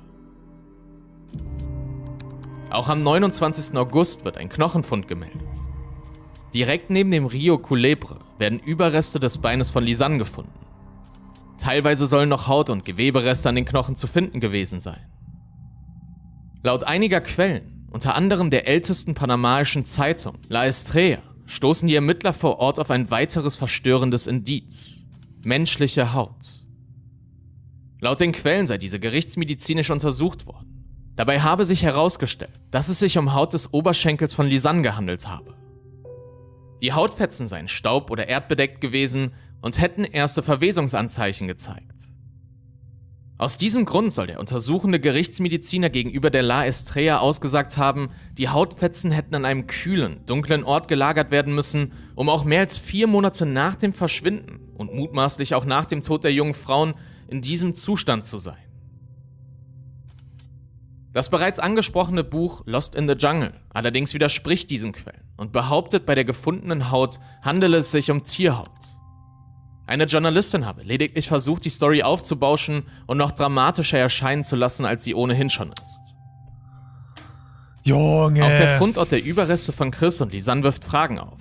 Denn die Leichenteile werden an unterschiedlichen Orten gefunden. Sie sind über das Dschungelgebiet verstreut. Okay, hier sehen wir das. Äh, zack, da ist Red ist gleich Search Cruise. Okay, da haben sie überall abgesucht. Alles klar. Hike Starting Point. Okay, die sind von hier. Sind sie da rüber gegangen? Uh, Pelvis and Foot Found. Okay, ah, okay. Okay, das war der ganze Hiking Trail und dann ist quasi einmal, zweimal, dann haben sie die ersten Kleidungsstücke gefunden, dann nochmal den ganzen Hiking Trail. Da war erst der Rucksack, aber gut, der ist ja den Bach hinunter. Pelvis and Foot Found, das war in der Nähe. Und dann nochmal weiter, Chris Rip Found. Ja, der River Flow geht zwar so, aber trotzdem, dass alles da irgendwie random in diesen River geflogen. Ich weiß, ich habe, ey, ich habe versucht, so lange wie möglich damit Erklärungen irgendwie vor mich zu labern. Aber halt ohne Spaß, ich habe null Ahnung mehr, wie das, wie das alles geht. Die armen Familien, ja, zu 100 Prozent, Alter. Zu 100 Prozent. Ey. Mit den wenigen Überresten der beiden jungen Frauen ist eine Feststellung der Todesursache leider nicht möglich. Denn essentielle Körperteile wie die Schädel oder Torsos von Chris und Lisanne sind Stimmt. bis heute nicht aufgetaucht. Und das war 2014, Alter. Es haben schon ein paar was geschrieben wegen Kannibalen. Aber auch mit einem Kannibalen, Bruder. Der Knochen, dass der so ausgeblichen war. Ja, vielleicht haben Tiere die Knochen auseinandergetragen. Das kann auch sein. Im Wiki-Artikel steht, dass sie einen Teil vom Kopf gefunden haben. Okay. Die panamaischen Behörden gehen bis heute wurde, davon ja. aus, dass Chris und Lisanne infolge eines Unfalls verstorben sind. Sie seien in einen Fluss geraten und hätten durch die starke Strömung und die heftigen Regenfälle keine Chance gehabt, lebend wieder rauszukommen. In Panama regnet es in der Regenperiode sehr viel in sehr kurzer Zeit. Dadurch schwellen die Flüsse an und entwickeln eine starke Strömung. Es ist durchaus möglich, dass man in einen Fluss fällt und darin umkommt. Ja. Die Strömung sei wohl so stark, dass sie einen Menschen buchstäblich zerreißen könne. Auch sei es normal, dass eine Leiche sich im warmen, feuchten Klima des Dschungels nach einiger Zeit zersetzen würde, was die Stückelung der Körper von Chris und Lisanne erklären würde. Auch die zuständige Staatsanwältin Bethsaida Pitti wird von einer panamaischen Zeitung wie folgt zitiert. Es wäre unverantwortlich ohne Grund zu sagen, die Mädchen seien ermordet worden. Ich kann nicht sagen, dass sie getötet wurden. Darüber hinaus ist es ja ein weit verbreiteter Überlebenstipp, nach Gewässern zu suchen, wenn man sich verirrt hat. Chris und Lisanne könnten also theoretisch den Plan gefasst haben, dem Fluss zu folgen, bis sie auf Menschen treffen würden. Infinity Spirit, danke Dabei dir. könnten sie von heftigen Stimmt, Regenfällen ja, überrascht ja. worden und in den Fluss geraten sein. Doch wenn die beiden wirklich verunglückt wären, würde noch immer eine Erklärung für die merkwürdigen Handyaktivitäten und die mysteriösen Nachtfotos fehlen. Vielleicht sind sie auch dem Fluss gefolgt und da waren irgendwelche Alligatoren oder sowas, die sie halt überrascht haben, weil es muss ja nicht nur der Regen sein. Dog Magpie, Dankeschön. Wir wissen, dass Chris und Lisanne schon am Nachmittag des 1. April erste Notrufe absetzen wollten. Um diese Uhrzeit war es noch hell draußen. Ist es möglich, dass die beiden vom Rückweg ihrer Wanderung bewusst oder unbewusst abgekommen waren und sich verirrt hatten? Die beiden sind ja nicht den El Pianista Trail zurückgelaufen sondern über den Gipfel des Mirador tiefer in den Dschungel hinein. Vielleicht wollten sie nur kurz die nähere Umgebung erkunden und haben dabei die Orientierung verloren. Das könnte zumindest den versuchten Hilferuf erklären. Als sie bemerkt hatten, dass die Notrufe nicht durchgingen, könnten sie sich dazu entschieden haben, bei einbrechender Dunkelheit an Ort und Stelle zu bleiben, um am nächsten Tag weiterzugehen. Daraufhin könnte sich ihre Unruhe und daher auch die Frequenz ihrer Notrufe verstärkt haben. Ja. Wichtig ist bei den Theorien rund um den Unfall und das Verlaufen von Chris und Lisanne zu erwähnen, der La Pianista Trail selbst gilt als ungefährlich. Natürlich kann jeder Wanderweg unter bestimmten Witterungsbedingungen zur Gefahr werden. Doch ja, aber der schaut halt wirklich, schaut halt wirklich easy aus. Ne? Der Trail ist ohne Guide begehbar. Jeder Tourist kann ihn unangemeldet und uneingeschränkt begehen. Der Weg führt an Häusern und Feldern vorbei, wird hier und da enger und etwas unebener, aber es bleibt ein normaler Weg für Wanderung und Spaziergänge. Ja. Einige Experten äußerten sogar, es sei unmöglich, sich auf diesem Weg zu verlaufen, auch wenn man keine erfahrene Wanderin ist. Re Rekonstruktion 2019 steht hier. Auch die Eltern von Chris sind den Trail gemeinsam mit dem Guide Feliciano González entlanggelaufen, um die Theorien rund um den Tod ihrer Töchter besser nachvollziehen zu können. Und sie sind sich einig. Chris und Lisanne hätten nur in einer Schleife zurücklaufen müssen. Ganz einfach. Der Rucksack und ihre sterblichen Überreste werden jedoch nördlich des Mirador gefunden, in der entgegengesetzten Richtung. Möglicherweise haben sie sich also nie auf den Rückweg des El Pianista Trail begeben, sondern haben abwärts des Mirador die Orientierung verloren. Die Theorien, die Mädchen hätten einen Unfall gehabt oder hätten sich verlaufen, sind recht plausibel. Sie würden allerdings die angesprochenen Anrufe und Fotoaufnahmen nur bedingt erklären. Bis heute sind nicht nur Hobbydetektive im Internet der Meinung, Chris und Lisans Tod sei kein Unfall gewesen. Ich frage mich halt nur, also wenn sie einen Unfall hatten, dann, ich glaube nicht, dass sie einen Unfall hatten, aus dem Grund, weil, wenn du einen Unfall hast, das ist ja gut und schön, aber dann solltest du zumindest, also dann würde ich, ich weiß nicht, dann würde ich nicht so extrem viel herumgehen, oder? Wenn ich dann herumgehen würde, dann würde ich das halt tagsüber machen und mich dann in der Nacht ausruhen. Naja, oder es ist in der Nacht kühler dort und in der Nacht ist es noch halbwegs erträglich herumzugehen. Allerdings siehst du halt nichts und deswegen haben sie halt die Fotos gemacht. Aber wenn die halt noch viel mehr Platz auf der Speicherkarte hatten, beziehungsweise die könnten ja auch wieder Fotos löschen und sowas, um ein bisschen mehr Platz zu haben, dann hätte ich halt Fotos gelöscht wieder. Also verlaufen ist, glaube ich, wesentlich sinnvoller. Oder die war halt wirklich, oder die waren halt wirklich Tag und Nacht äh, aktiv und sind Tag und Nacht gegangen. Akku wird ausgegangen sein. Ja, das kann ja auch sein. Aber die haben ja nach einer Woche immer noch Fotos gemacht. Für den bereits erwähnten Podcast Lost in Panama interviewen Journalisten 2022 den Forensiker, der die Autopsie an den Überresten von Chris und Lisanne durchgeführt hat. Seine Identität bleibt auf seinen Wunsch hin anonym, denn er glaubt, dass der Tod von Chris und Lisanne kein Unfall war, wie die panamaischen Behörden es deklariert haben.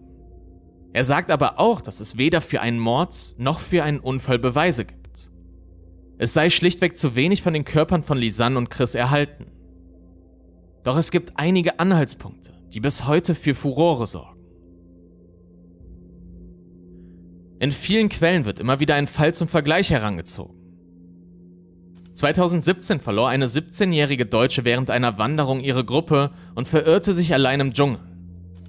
Auch dieser Fall trug sich in Panama zu, allerdings einige Stunden von dem Gebiet, in dem Chris und Lisanne verschwanden, entfernt. Die 17-Jährige schaffte es drei Tage lang eigenständig im Dschungel zu überleben, ehe sie auf eine Männergruppe traf. Die Männer behaupteten, zu einem Suchtrupp zu gehören, der nach ihr gesucht habe. Doch anstatt ihr zu helfen, oh brachten die Gott. Männer die junge Frau in ihre Gewalt und missbrauchten sie über Tage hinweg.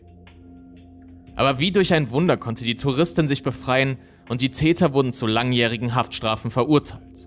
Junge, ich, also ohne Scheiß, ich würde nie, ohne Scheiß, ich würde nie wieder mein Land verlassen. Ich würde nie wieder weggehen. Nicht, nicht, weil irgendwie, yo, hier Panama oder sonst was, aber Bruder, ich hätte nie. Da hast du da hast, da hast einen ewigen Schaden von, von, du kannst ja niemandem mehr vertrauen. Bruder, was machst du denn? Du bist drei Tage verloren im Dschungel. Drei Tage verloren im Dschungel. Und dann denkst du dir, oh mein Gott, zum Glück bin ich gesaved. Und dann ist der Albtraum einfach noch viel schlimmer.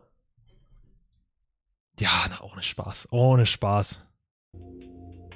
Dieser Fall ist für viele Hobbydetektive und Theoretiker ein Beispiel dafür, was in ähnlicher Form auch mit Chris und Lisanne passiert sein könnte. Ja, ich, ja, alleine in den Dschungel würde ich auch nie. Es sind halt, schau, es sind halt vielleicht diese, diese, diese gleichen Tracks, diese gleichen Tracks, schau, dieser, dieser Track von denen, der hat ja so easy ausgesehen. Und die waren ja auch zu zweit und die haben sich da gedacht, naja, okay, dann gehen wir da ohne, ohne Guide und so, das ist relativ Wayne, was soll schon passieren? Und das würde ich mir auch denken. Vielleicht ist es dann auch einfach blöd, aber ich würde mir dann auch denken, naja, okay, so ein 8 Kilometer Trail, der halt wirklich ohne Spaß so quasi, du kannst dich nicht verlaufen, es kann nichts passieren und halt, ja, okay, es kann anfangen zu regnen und sowas, war halt so, mein Gott, dann gehst du halt zurück ich weiß, so einfach ist es nicht, aber halt so, worst case ist du, du, du gehst halt durch den Garch und so. ähm, aber viel kann da jetzt auch nicht passieren. Aber die sind halt dann weitergegangen. Das war ja der Fehler. Das war der Fehler. Naja. Eventuell haben die beiden Niederländerinnen sich wirklich verlaufen. Durch die Kameraaufnahmen und mutmaßlich auch durch die ersten Telefonversuche könnte man schlussfolgern, dass Lisanne und Chris noch Tage nach ihrem Verschwinden am Leben waren. Erst am 5. April kann der SIM-PIN-Code nicht mehr richtig in Chris Handy eingegeben werden. Vielleicht hat jemand die beiden Touristinnen nach einigen Tagen im Dschungel gefunden, sie aber nicht gerettet, sondern ein Verbrechen an ihnen begangen.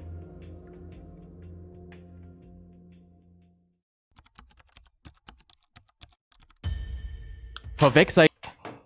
Okay, okay, oh mein, oh mein, tu mir das nicht an, Alter.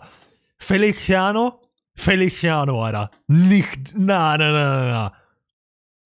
Schwör, Fe, schwör, wenn Feliciano da involviert ist, Alter. Sei gesagt, sobald Ist der Hund, ist der Hund der von Feliciano?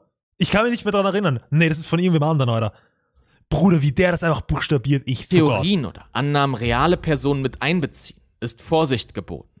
Ja. Insbesondere da Aber. Chris und Lisans Verschwinden offiziell nicht als ungeklärter Mord gilt. Okay, nee, der ist Und nicht es nie offiziell Verdächtige gegeben hat. Feliciano, no. Wenn man sich mit dem Fall beschäftigt, fällt auf, dass eine Person immer wieder auftaucht. Feliciano González. Bei ihm sind Chris und Lisanne für den 2. April für einen Ausflug angemeldet. Stimmt. Und als die beiden nicht erscheinen, ist es Feliciano, der sie als vermisst meldet. Bei Felicianos Ja. Bruder wird der Rucksack von Chris und Lisanne abgegeben. Und Feliciano Mois, findet ja. Lisannes Fuß und Chris Beckenknochen. Der hat die gefunden? Okay, wir haben einen Suchtrupp. Okay, okay, okay. Feliciano, Unschuldsvermutung und sowas. 100%, 100%. Aber wir haben einen fucking Suchtrupp von mehreren Leuten, die wochenlang, by the way, nach denen beiden suchen. Und Feliciano findet nicht nur einen, findet nicht nur den Fuß, sondern auch den Beckenknochen. Ey, Unschuldsvermutung des Todes, aber ich muss sagen, das ist sass. Das ist sass. Auch am Anfang der Suche hat er sich sehr rege beteiligt. Er hat Suchtrupps zusammengestellt und navigiert und auch zahlreiche Interviews gegeben. Aber es ist gar nicht so verwunderlich, dass jemand in diesem Fall immer und immer wieder auftaucht. Immerhin sind Chris und Lisanne in einer Kleinstadt verschwunden. Ja, stimmt Bouquet auch. hat gerade einmal 15.000 Einwohner. Feliciano ist durch seinen Job als Tourguide nicht nur gut mit den Anwohnern vernetzt, sondern kennt sich auch im Dschungel und auf dem El Pianista Trail hervorragend aus. Ja. Noch dazu hat er Kenntnisse in mehreren Fremdsprachen. Ah. Dass er Journalisten und Behörden gleichermaßen als Anlaufpunkt für Auskünfte dient, ist also nur logisch. Ah. Dennoch gibt es ein paar Menschen, die Feliciano seine Gutmütigkeit nicht abkaufen. Besonders deutlich wird das in dem bereits erwähnten Podcast Lost in Panama, für den Investigativjournalisten das Verschwinden von Chris und Lisanne 2022 noch einmal neu aufgerollt haben. Als das Team vor Ort in Bouquet ermittelt und mit Anwohnern spricht, erzählt eine dort lebende Frau den Journalisten, Feliciano habe ihr direkt nach dem Verschwinden von Chris und Lisanne gesagt, sie solle nicht über die beiden sprechen und niemanden Auskunft geben. Diese Frau ist Martina, die damals bestätigt hat, Chris und Lisanne am 1. April auf dem El Pianista Trail von ihrem Garten aus beobachtet zu haben. Im Podcast wird es so dargestellt, als habe Feliciano Martina gedroht und als habe sie regelrecht Angst vor ihm. Feliciano wird von den Journalisten für ein Interview angefragt. Doch er hat Vorbehalte gegen eines der Teammitglieder, das in der Vergangenheit über den Fall und Felicianos Rolle in ihm berichtet hat. Feliciano soll mit seiner Darstellung in den vorangegangenen Berichten so unzufrieden sein, dass er für den Podcast nicht interviewt werden möchte. Stattdessen spricht das Team mit einem Bekannten von Feliciano, der in Bouquet lebt. Dieser erzählt von Felicianos Sohn Henry González. Der sei ein netter, junger Kerl, Ja, so schaut er aus. solange er nicht betrunken sei. Wenn er es ist, sei er aggressiv. Okay, und Henry okay. sei am 30. The plot März gemeinsam mit Freunden sowie Chris und Lisanne in einer Diskothek in Bouquet gesehen worden sein. Also zwei Tage, bevor die beiden Touristinnen ihre Wanderung unternommen haben. Weiter gibt eine anonyme Quelle an, Chris hätte von einem Freund von Henry González Marihuana kaufen wollen. Auch hätten Chris und Lisanne am 31. Snorty, März eine Hausparty besucht, die Henry und Freunde von ihm ebenfalls besucht hätten. Chris und Lisanne seien von einem jungen Mann namens Osman V. dabei gesehen worden, wie sie mit Henry und drei weiteren Männern aus seinem Umfeld in einem roten Pickup-Truck gesessen hätten. José, Edwin und Cuevo. Die vier jungen Männer seien eine Art Bande. Ein ehemaliger panamaischer Ermittler des Falls, der anonym bleiben möchte, berichtet ebenfalls von einer Party mit der Bande, die Chris und Lisanne besucht haben soll. Diese Angaben hätte eine Quelle damals der Staatsanwaltschaft vorgelegt. Doch in den Polizeiakten findet sich kein einziger Hinweis auf die besagte Party. An dieser Stelle Ey, Digga, das wird immer, es wird immer schlimmer. Also ich kann mich noch erinnern, da gab es ja einen Boy, der hat beobachtet, dass irgendeine Frau geschrien hat, während andere Boys im Gebüsch gewartet haben. Und der hat halt obviously die Panik bekommen und der ist weggelaufen und so. Was könnte das was damit zu tun haben? Dass, die werden denen ja auch sicher gesagt haben, yo, wir sind, wir sind, äh, wir, wir machen dann das mit der Schule und sowas und da wurde das doch nichts und wir, wir sind dann auf dem, auf dem Hike-Trail und sowas, das wollen wir uns anschauen und die wussten das ja. Die wussten das ja.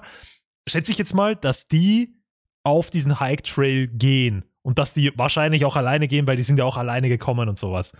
Ähm, ja. Aber das war dann nicht der Pickup-Truck, der sie dort hingebracht hat und dann die falsche Uhrzeit angegeben hat, oder? sei noch einmal erwähnt, dass der Podcast die einzige Quelle für diese neuen Anhaltspunkte ist. Okay. Wir wissen nicht genau, in welchem Verhältnis der Informationsgeber wirklich mit Henry und Feliciano steht. Stimmt, Mit stimmt. anderen ja. Worten, ob jemand Henry und Feliciano eine Beteiligung am Tod von Chris und Lisanne anhängen möchte oder ob an diesen Angaben wirklich etwas dran ist. Oder ob der was vertuschen Dazu will. kommt, dass Chris und Lisanne während ihres Aufenthalts in Panama beide Tagebuch geführt haben. Und keine der beiden schreibt etwas über eine Mhm, mhm, mhm. Hausparty, den Kauf von Marihuana oder ein Aufeinandertreffen mit Henry und seinen Freunden. Wohingegen sie von anderen Reisebekanntschaften schreiben. Sch- Okay, okay. Doch wenn man das größere Bild betrachtet, das von Bouquet nach dem Verschwinden von Chris Kremers und Lisanne Frohn, können einige Puzzlestücke scheinbar zusammengeführt werden. Füße zusammen, Bro.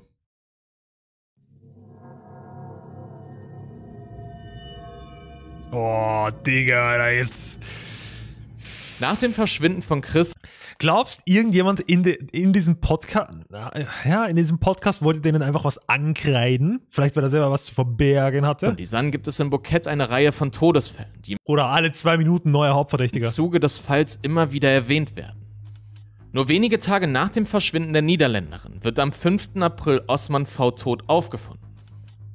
Er wird in einem Fluss gefunden, soll jedoch eine unerklärliche Kopfverletzung gehabt haben. Osman ist derjenige, der Chris und Lisanne laut der anonymen Quelle mit den vier Männern in einem Pickup-Truck gesehen haben will. Ein Jahr später stirbt Ende März 2015 einer der Männer, die sich laut Osman in dem Auto befunden haben sollen. José M. Er wird von einem Auto überfahren. Der Fahrer kann nicht gefasst werden. Und es wird nur noch gruseliger. Auch der Taxifahrer namens Leonardo Arturo G., der Lisanne und Chris zum El Pianista Trail gefahren hatte, wird im März 2015 tot aufgefunden.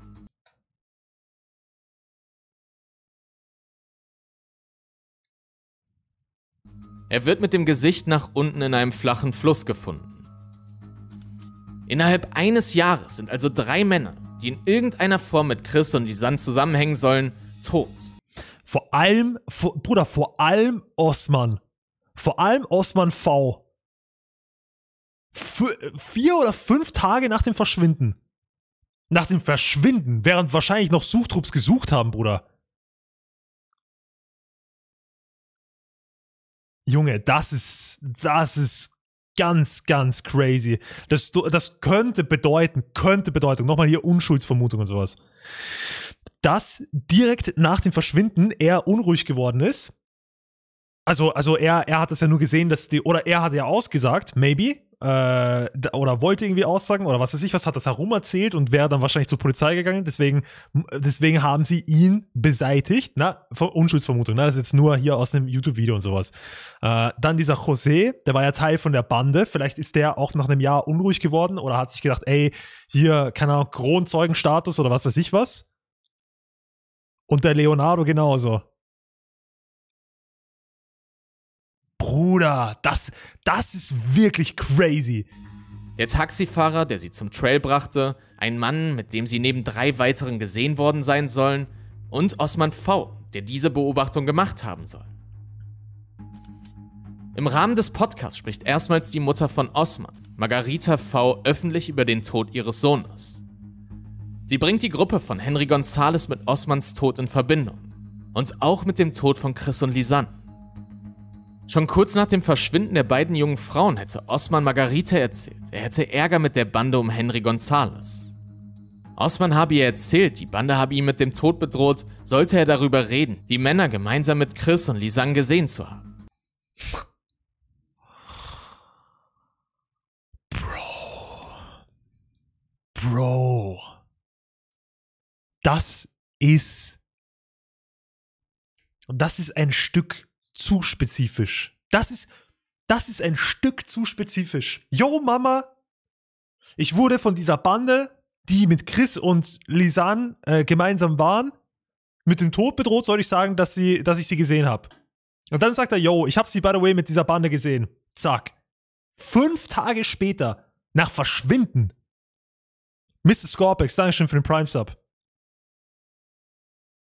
Also, sei mal nicht böse. Also, wurscht was, hier, wurscht, was hier noch passiert, Bruder, das ist alles sehr, sehr weird. Also ich dachte, ich dachte, yo, ich dachte am Anfang, okay, hier, die sind verschwunden und natürlich, das ist hier ein bisschen, könnte ein bisschen äh, komisch sein, könnte ein bisschen sketchy sein und sowas, auch mit den, mit den, mit den Sachen, die da gefunden wurden und sowas. Okay, okay, ist ein bisschen weird, aber es ist der Dschungel und Tiere können das verschleppen und vielleicht hat das irgendjemand, der, der Fluss hat das ein bisschen weitergetragen, die ganzen Sachen und sowas, aber das ist schon sehr, sehr, sehr, sehr auffällig.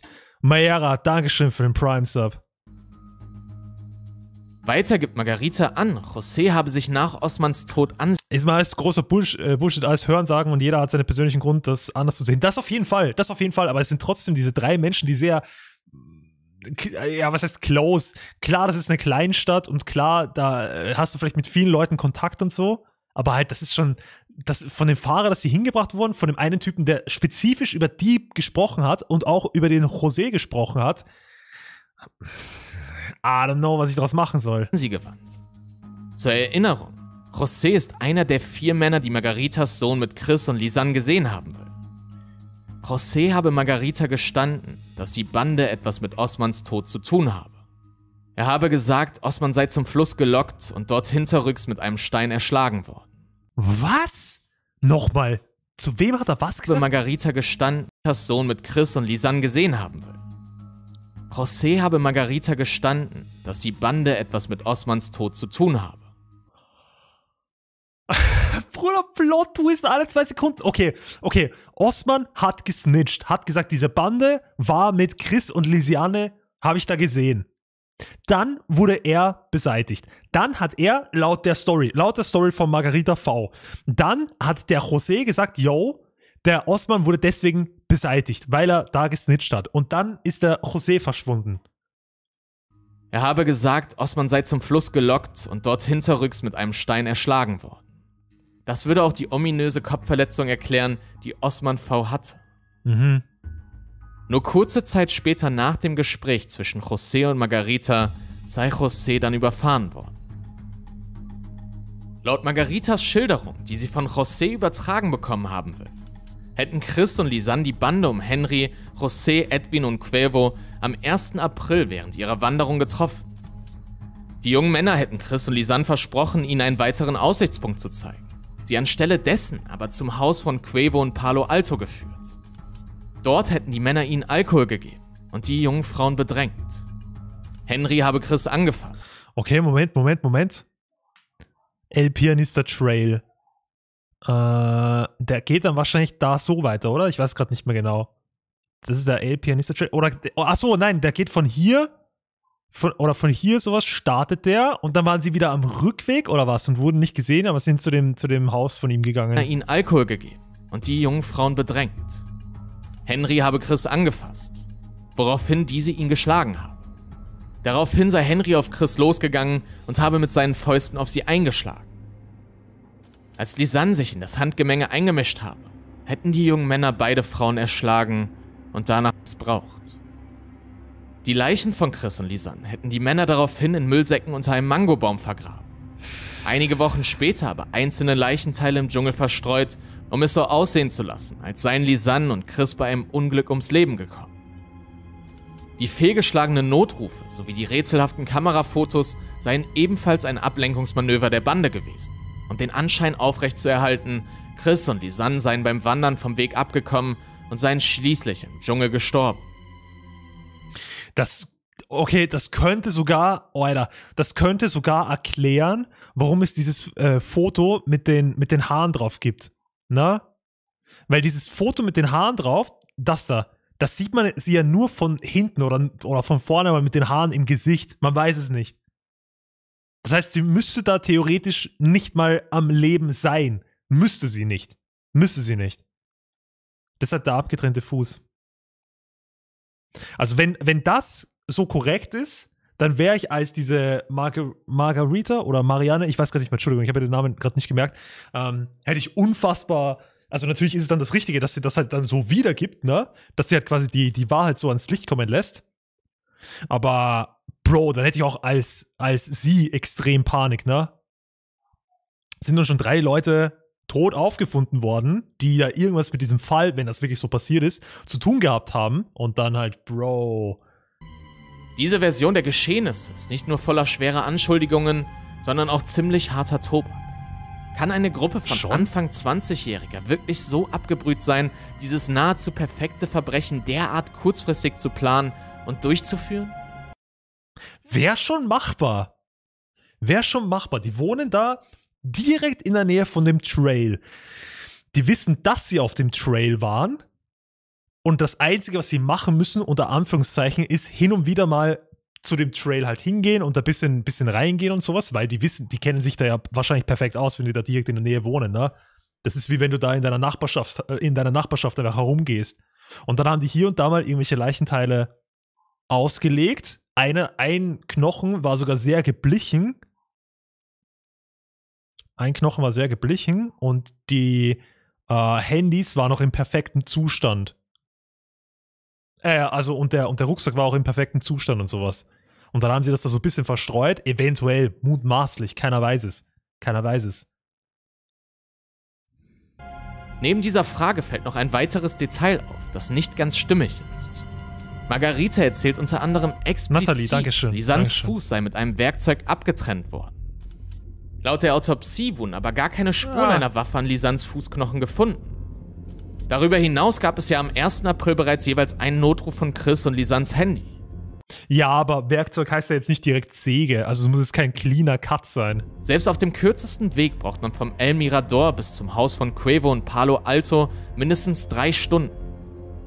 Wenn die beiden gegen 13.15 Uhr den Gipfel des Mirador verlassen haben, um 16.39 Uhr aber schon den Notruf von Cuevos Haus aus anwählen müssen, muss die Gruppe sich auf dem Weg extrem beeilt haben und die Lage bei Cuevo sehr schnell eskaliert sein.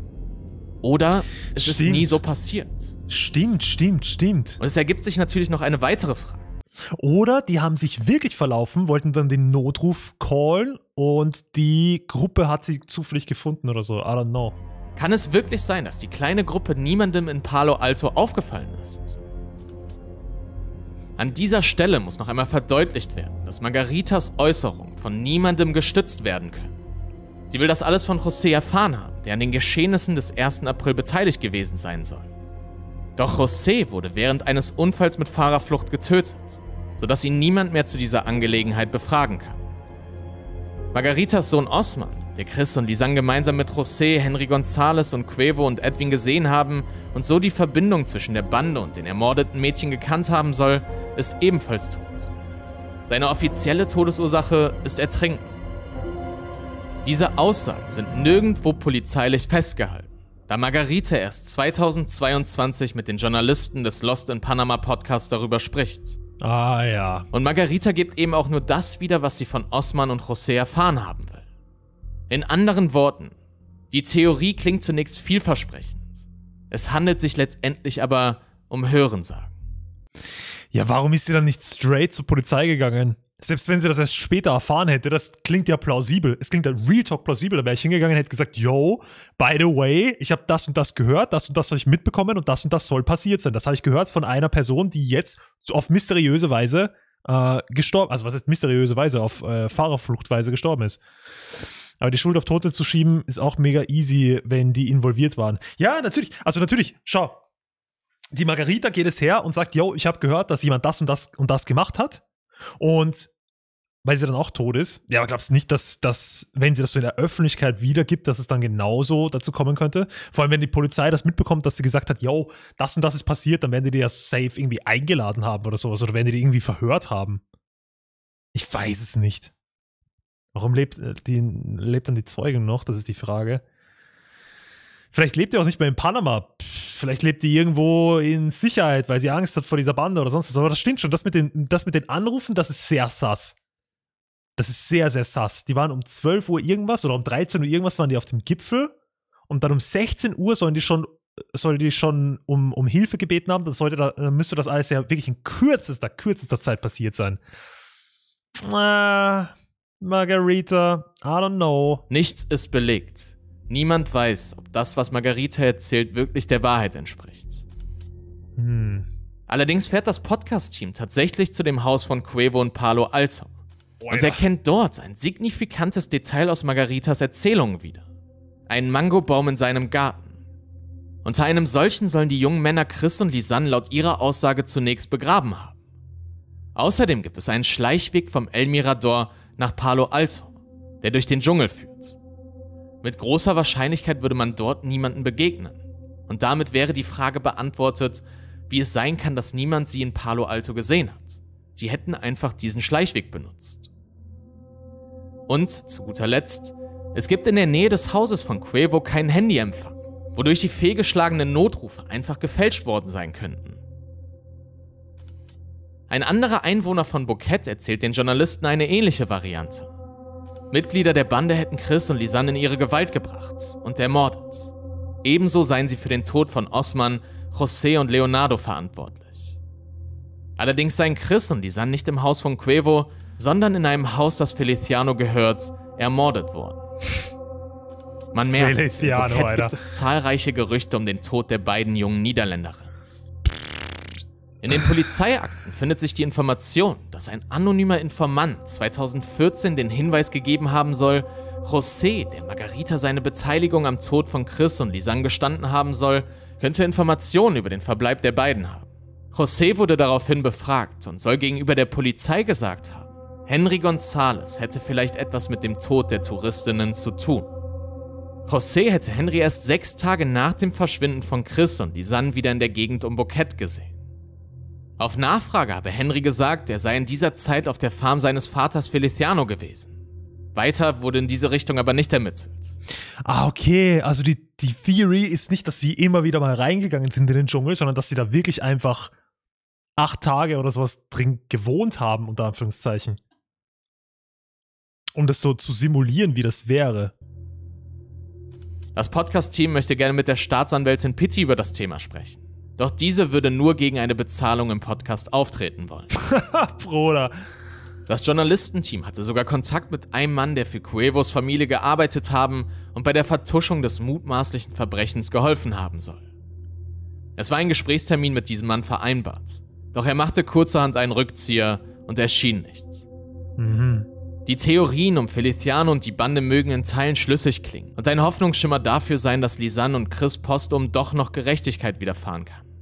Doch nicht nur bei den Opfern, auch bei den Menschen in Bouquet handelt es sich um reale Personen. Und solange es keine handfesten Anschuldigungen oder Beweise gibt, gelten auch sie als unschuldig. Natürlich, ja sicher. Es macht alles mögliche Sinn. Also da waren mindestens jetzt fünf, sechs, sieben Theorien drinnen, die passiert sein könnten und all das ist ja auch nur, sind auch nur sorry, Sachen, die passiert sein könnten und alles andere ist ja immer noch, Bruder, es könnte auch sein, dass einfach die in den Wald gesteppt sind und dann wurden sie von einem Krokodil attackiert und dann haben sie trotzdem noch irgendwie äh, oder eine hat überlebt und die hat noch Fotos gemacht und das ist wirklich dann irgendwie äh, ausgeblichen worden, dieser Knochen von der Erde und der Sonne und ich habe keine fucking Ahnung. Ich habe null Ahnung. Das ist wirklich, je mehr man sich da rein fuchst, im Sinne von je mehr Informationen du halt bekommst in dem Fall, sehr, sehr gut aufgearbeitet, by the way, wie immer in Solito, ähm, desto mehr Gegenargumente findest du gegen deine eigenen Theorien. Und das ist dann irgendwo einfach, Bruder, ich weiß nicht mehr, wo ich überhaupt anfangen soll. Ich weiß nicht mal, in welche Richtung wir gehen sollen. Damit sind wir am Ende des heutigen Videos angelangt. Einmal mehr kann ich euch keine definitive Antwort darauf geben, was Chris Kremers und die Sandfrohn zugestoßen ist. Doch ich hoffe, euch einen guten Überblick über den Fall und ein paar Denkanstöße für eure eigenen Theorien gegeben zu haben. Was glaubt ihr, könnte den beiden jungen Frauen passiert sein? Hatten sie einfach großes Pech, indem sie sich verirrten, einen Unfall hatten oder nach Tagen allein im Dschungel vor Erschöpfung starben? Oder denkt ihr, es gibt eine oder mehrere Personen, die den beiden Niederländerinnen etwas angetan haben könnten? Heute erinnert ein Kreuz auf den Gipfel des El Mirador, dem Höhepunkt des El Pianista Trails, an Chris und Lisanne.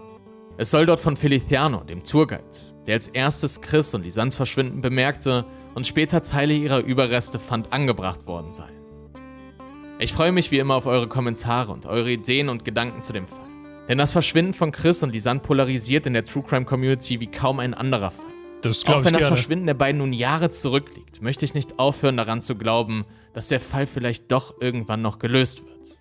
Mit einem Fund der Schädel oder des Torsos könnte man einige Fragen beantworten, die den Fall immer noch umgeben. Und vielleicht könnten die Angehörigen dann auch endlich etwas mehr Gewissheit bekommen. Die investigativen Recherchen des Lost in Panama Podcasts haben den Anschein erweckt, dass es auch Jahre nach dem Verschwinden von Chris und Lisanne noch Menschen in Bouquet gibt, die mehr zu wissen scheinen. Und wenn dem so sein sollte, darf man hoffen, dass dieses Wissen eines Tages an die Öffentlichkeit gelangen wird. Sollte das Video euch gefallen haben, hinterlasst gerne ein Like, Kommentar und oder Abo. Und aktiviert auch gerne die Glocke. Das hilft dem Kanal wirklich extrem weiter. Denn so bekommt das Video kurz nach der Veröffentlichung viel Interaktion. Und das hilft dabei, den YouTube-Algorithmus auszutricksen und das, das Video Leuten ja vorzuschlagen, die den Kanal noch nicht abonniert haben. Abonniert auch gerne meinen Zweitkanal Insolito Crime News. Sollte ja, es nämlich ein Update zum rätselhaften Tod von Chris Kremers und Lisanne Frohn geben, werde ich euch dort direkt informieren. Schauen wir gleich. Der Fall Chris Kremers und Lisanne Frohn, Insolito. Nur ganz kurz. Äh. Nee. Noch nichts. Okay. Ey, ich sag dir ganz ehrlich, also wieder sehr, sehr, sehr krasses Video. Auch einfach vom Storytelling musst du das mal so gut hinbekommen, dass du, Bruder, gegen Ende, ab Minute 45 oder sowas, ist es mitunter am spannendsten geworden.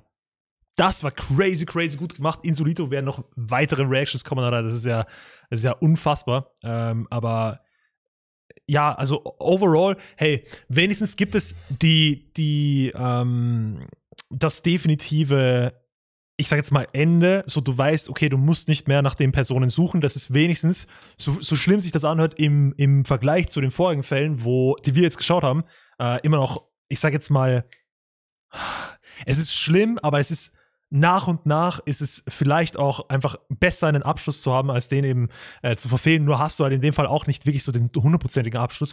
Warum kann man nicht irgendwie dem, dem Mangobaum, Bruder, in seinem Garten einfach fällen und falls da nichts drunter ist, zahlt man dem Typen eine Entschädigung von, was weiß ich, 50.000 Euro. Zack. Ha, Entschuldigung, du bist nicht mehr verdächtig oder der wird den selber ausheben oder sowas und wird dann sagen, ja, Schatz, ja, bei mir ist all good oder sowas, keine Ahnung. Ja, crazy daisy. Nochmal, alles nur Vermutungen, die hier geäußert wurden, aber ähm, maybe erreicht das ja auch äh, irgendwelche Menschen, die sich damit befassen und die da vielleicht ein bisschen mehr rausholen können. Ich weiß es nicht.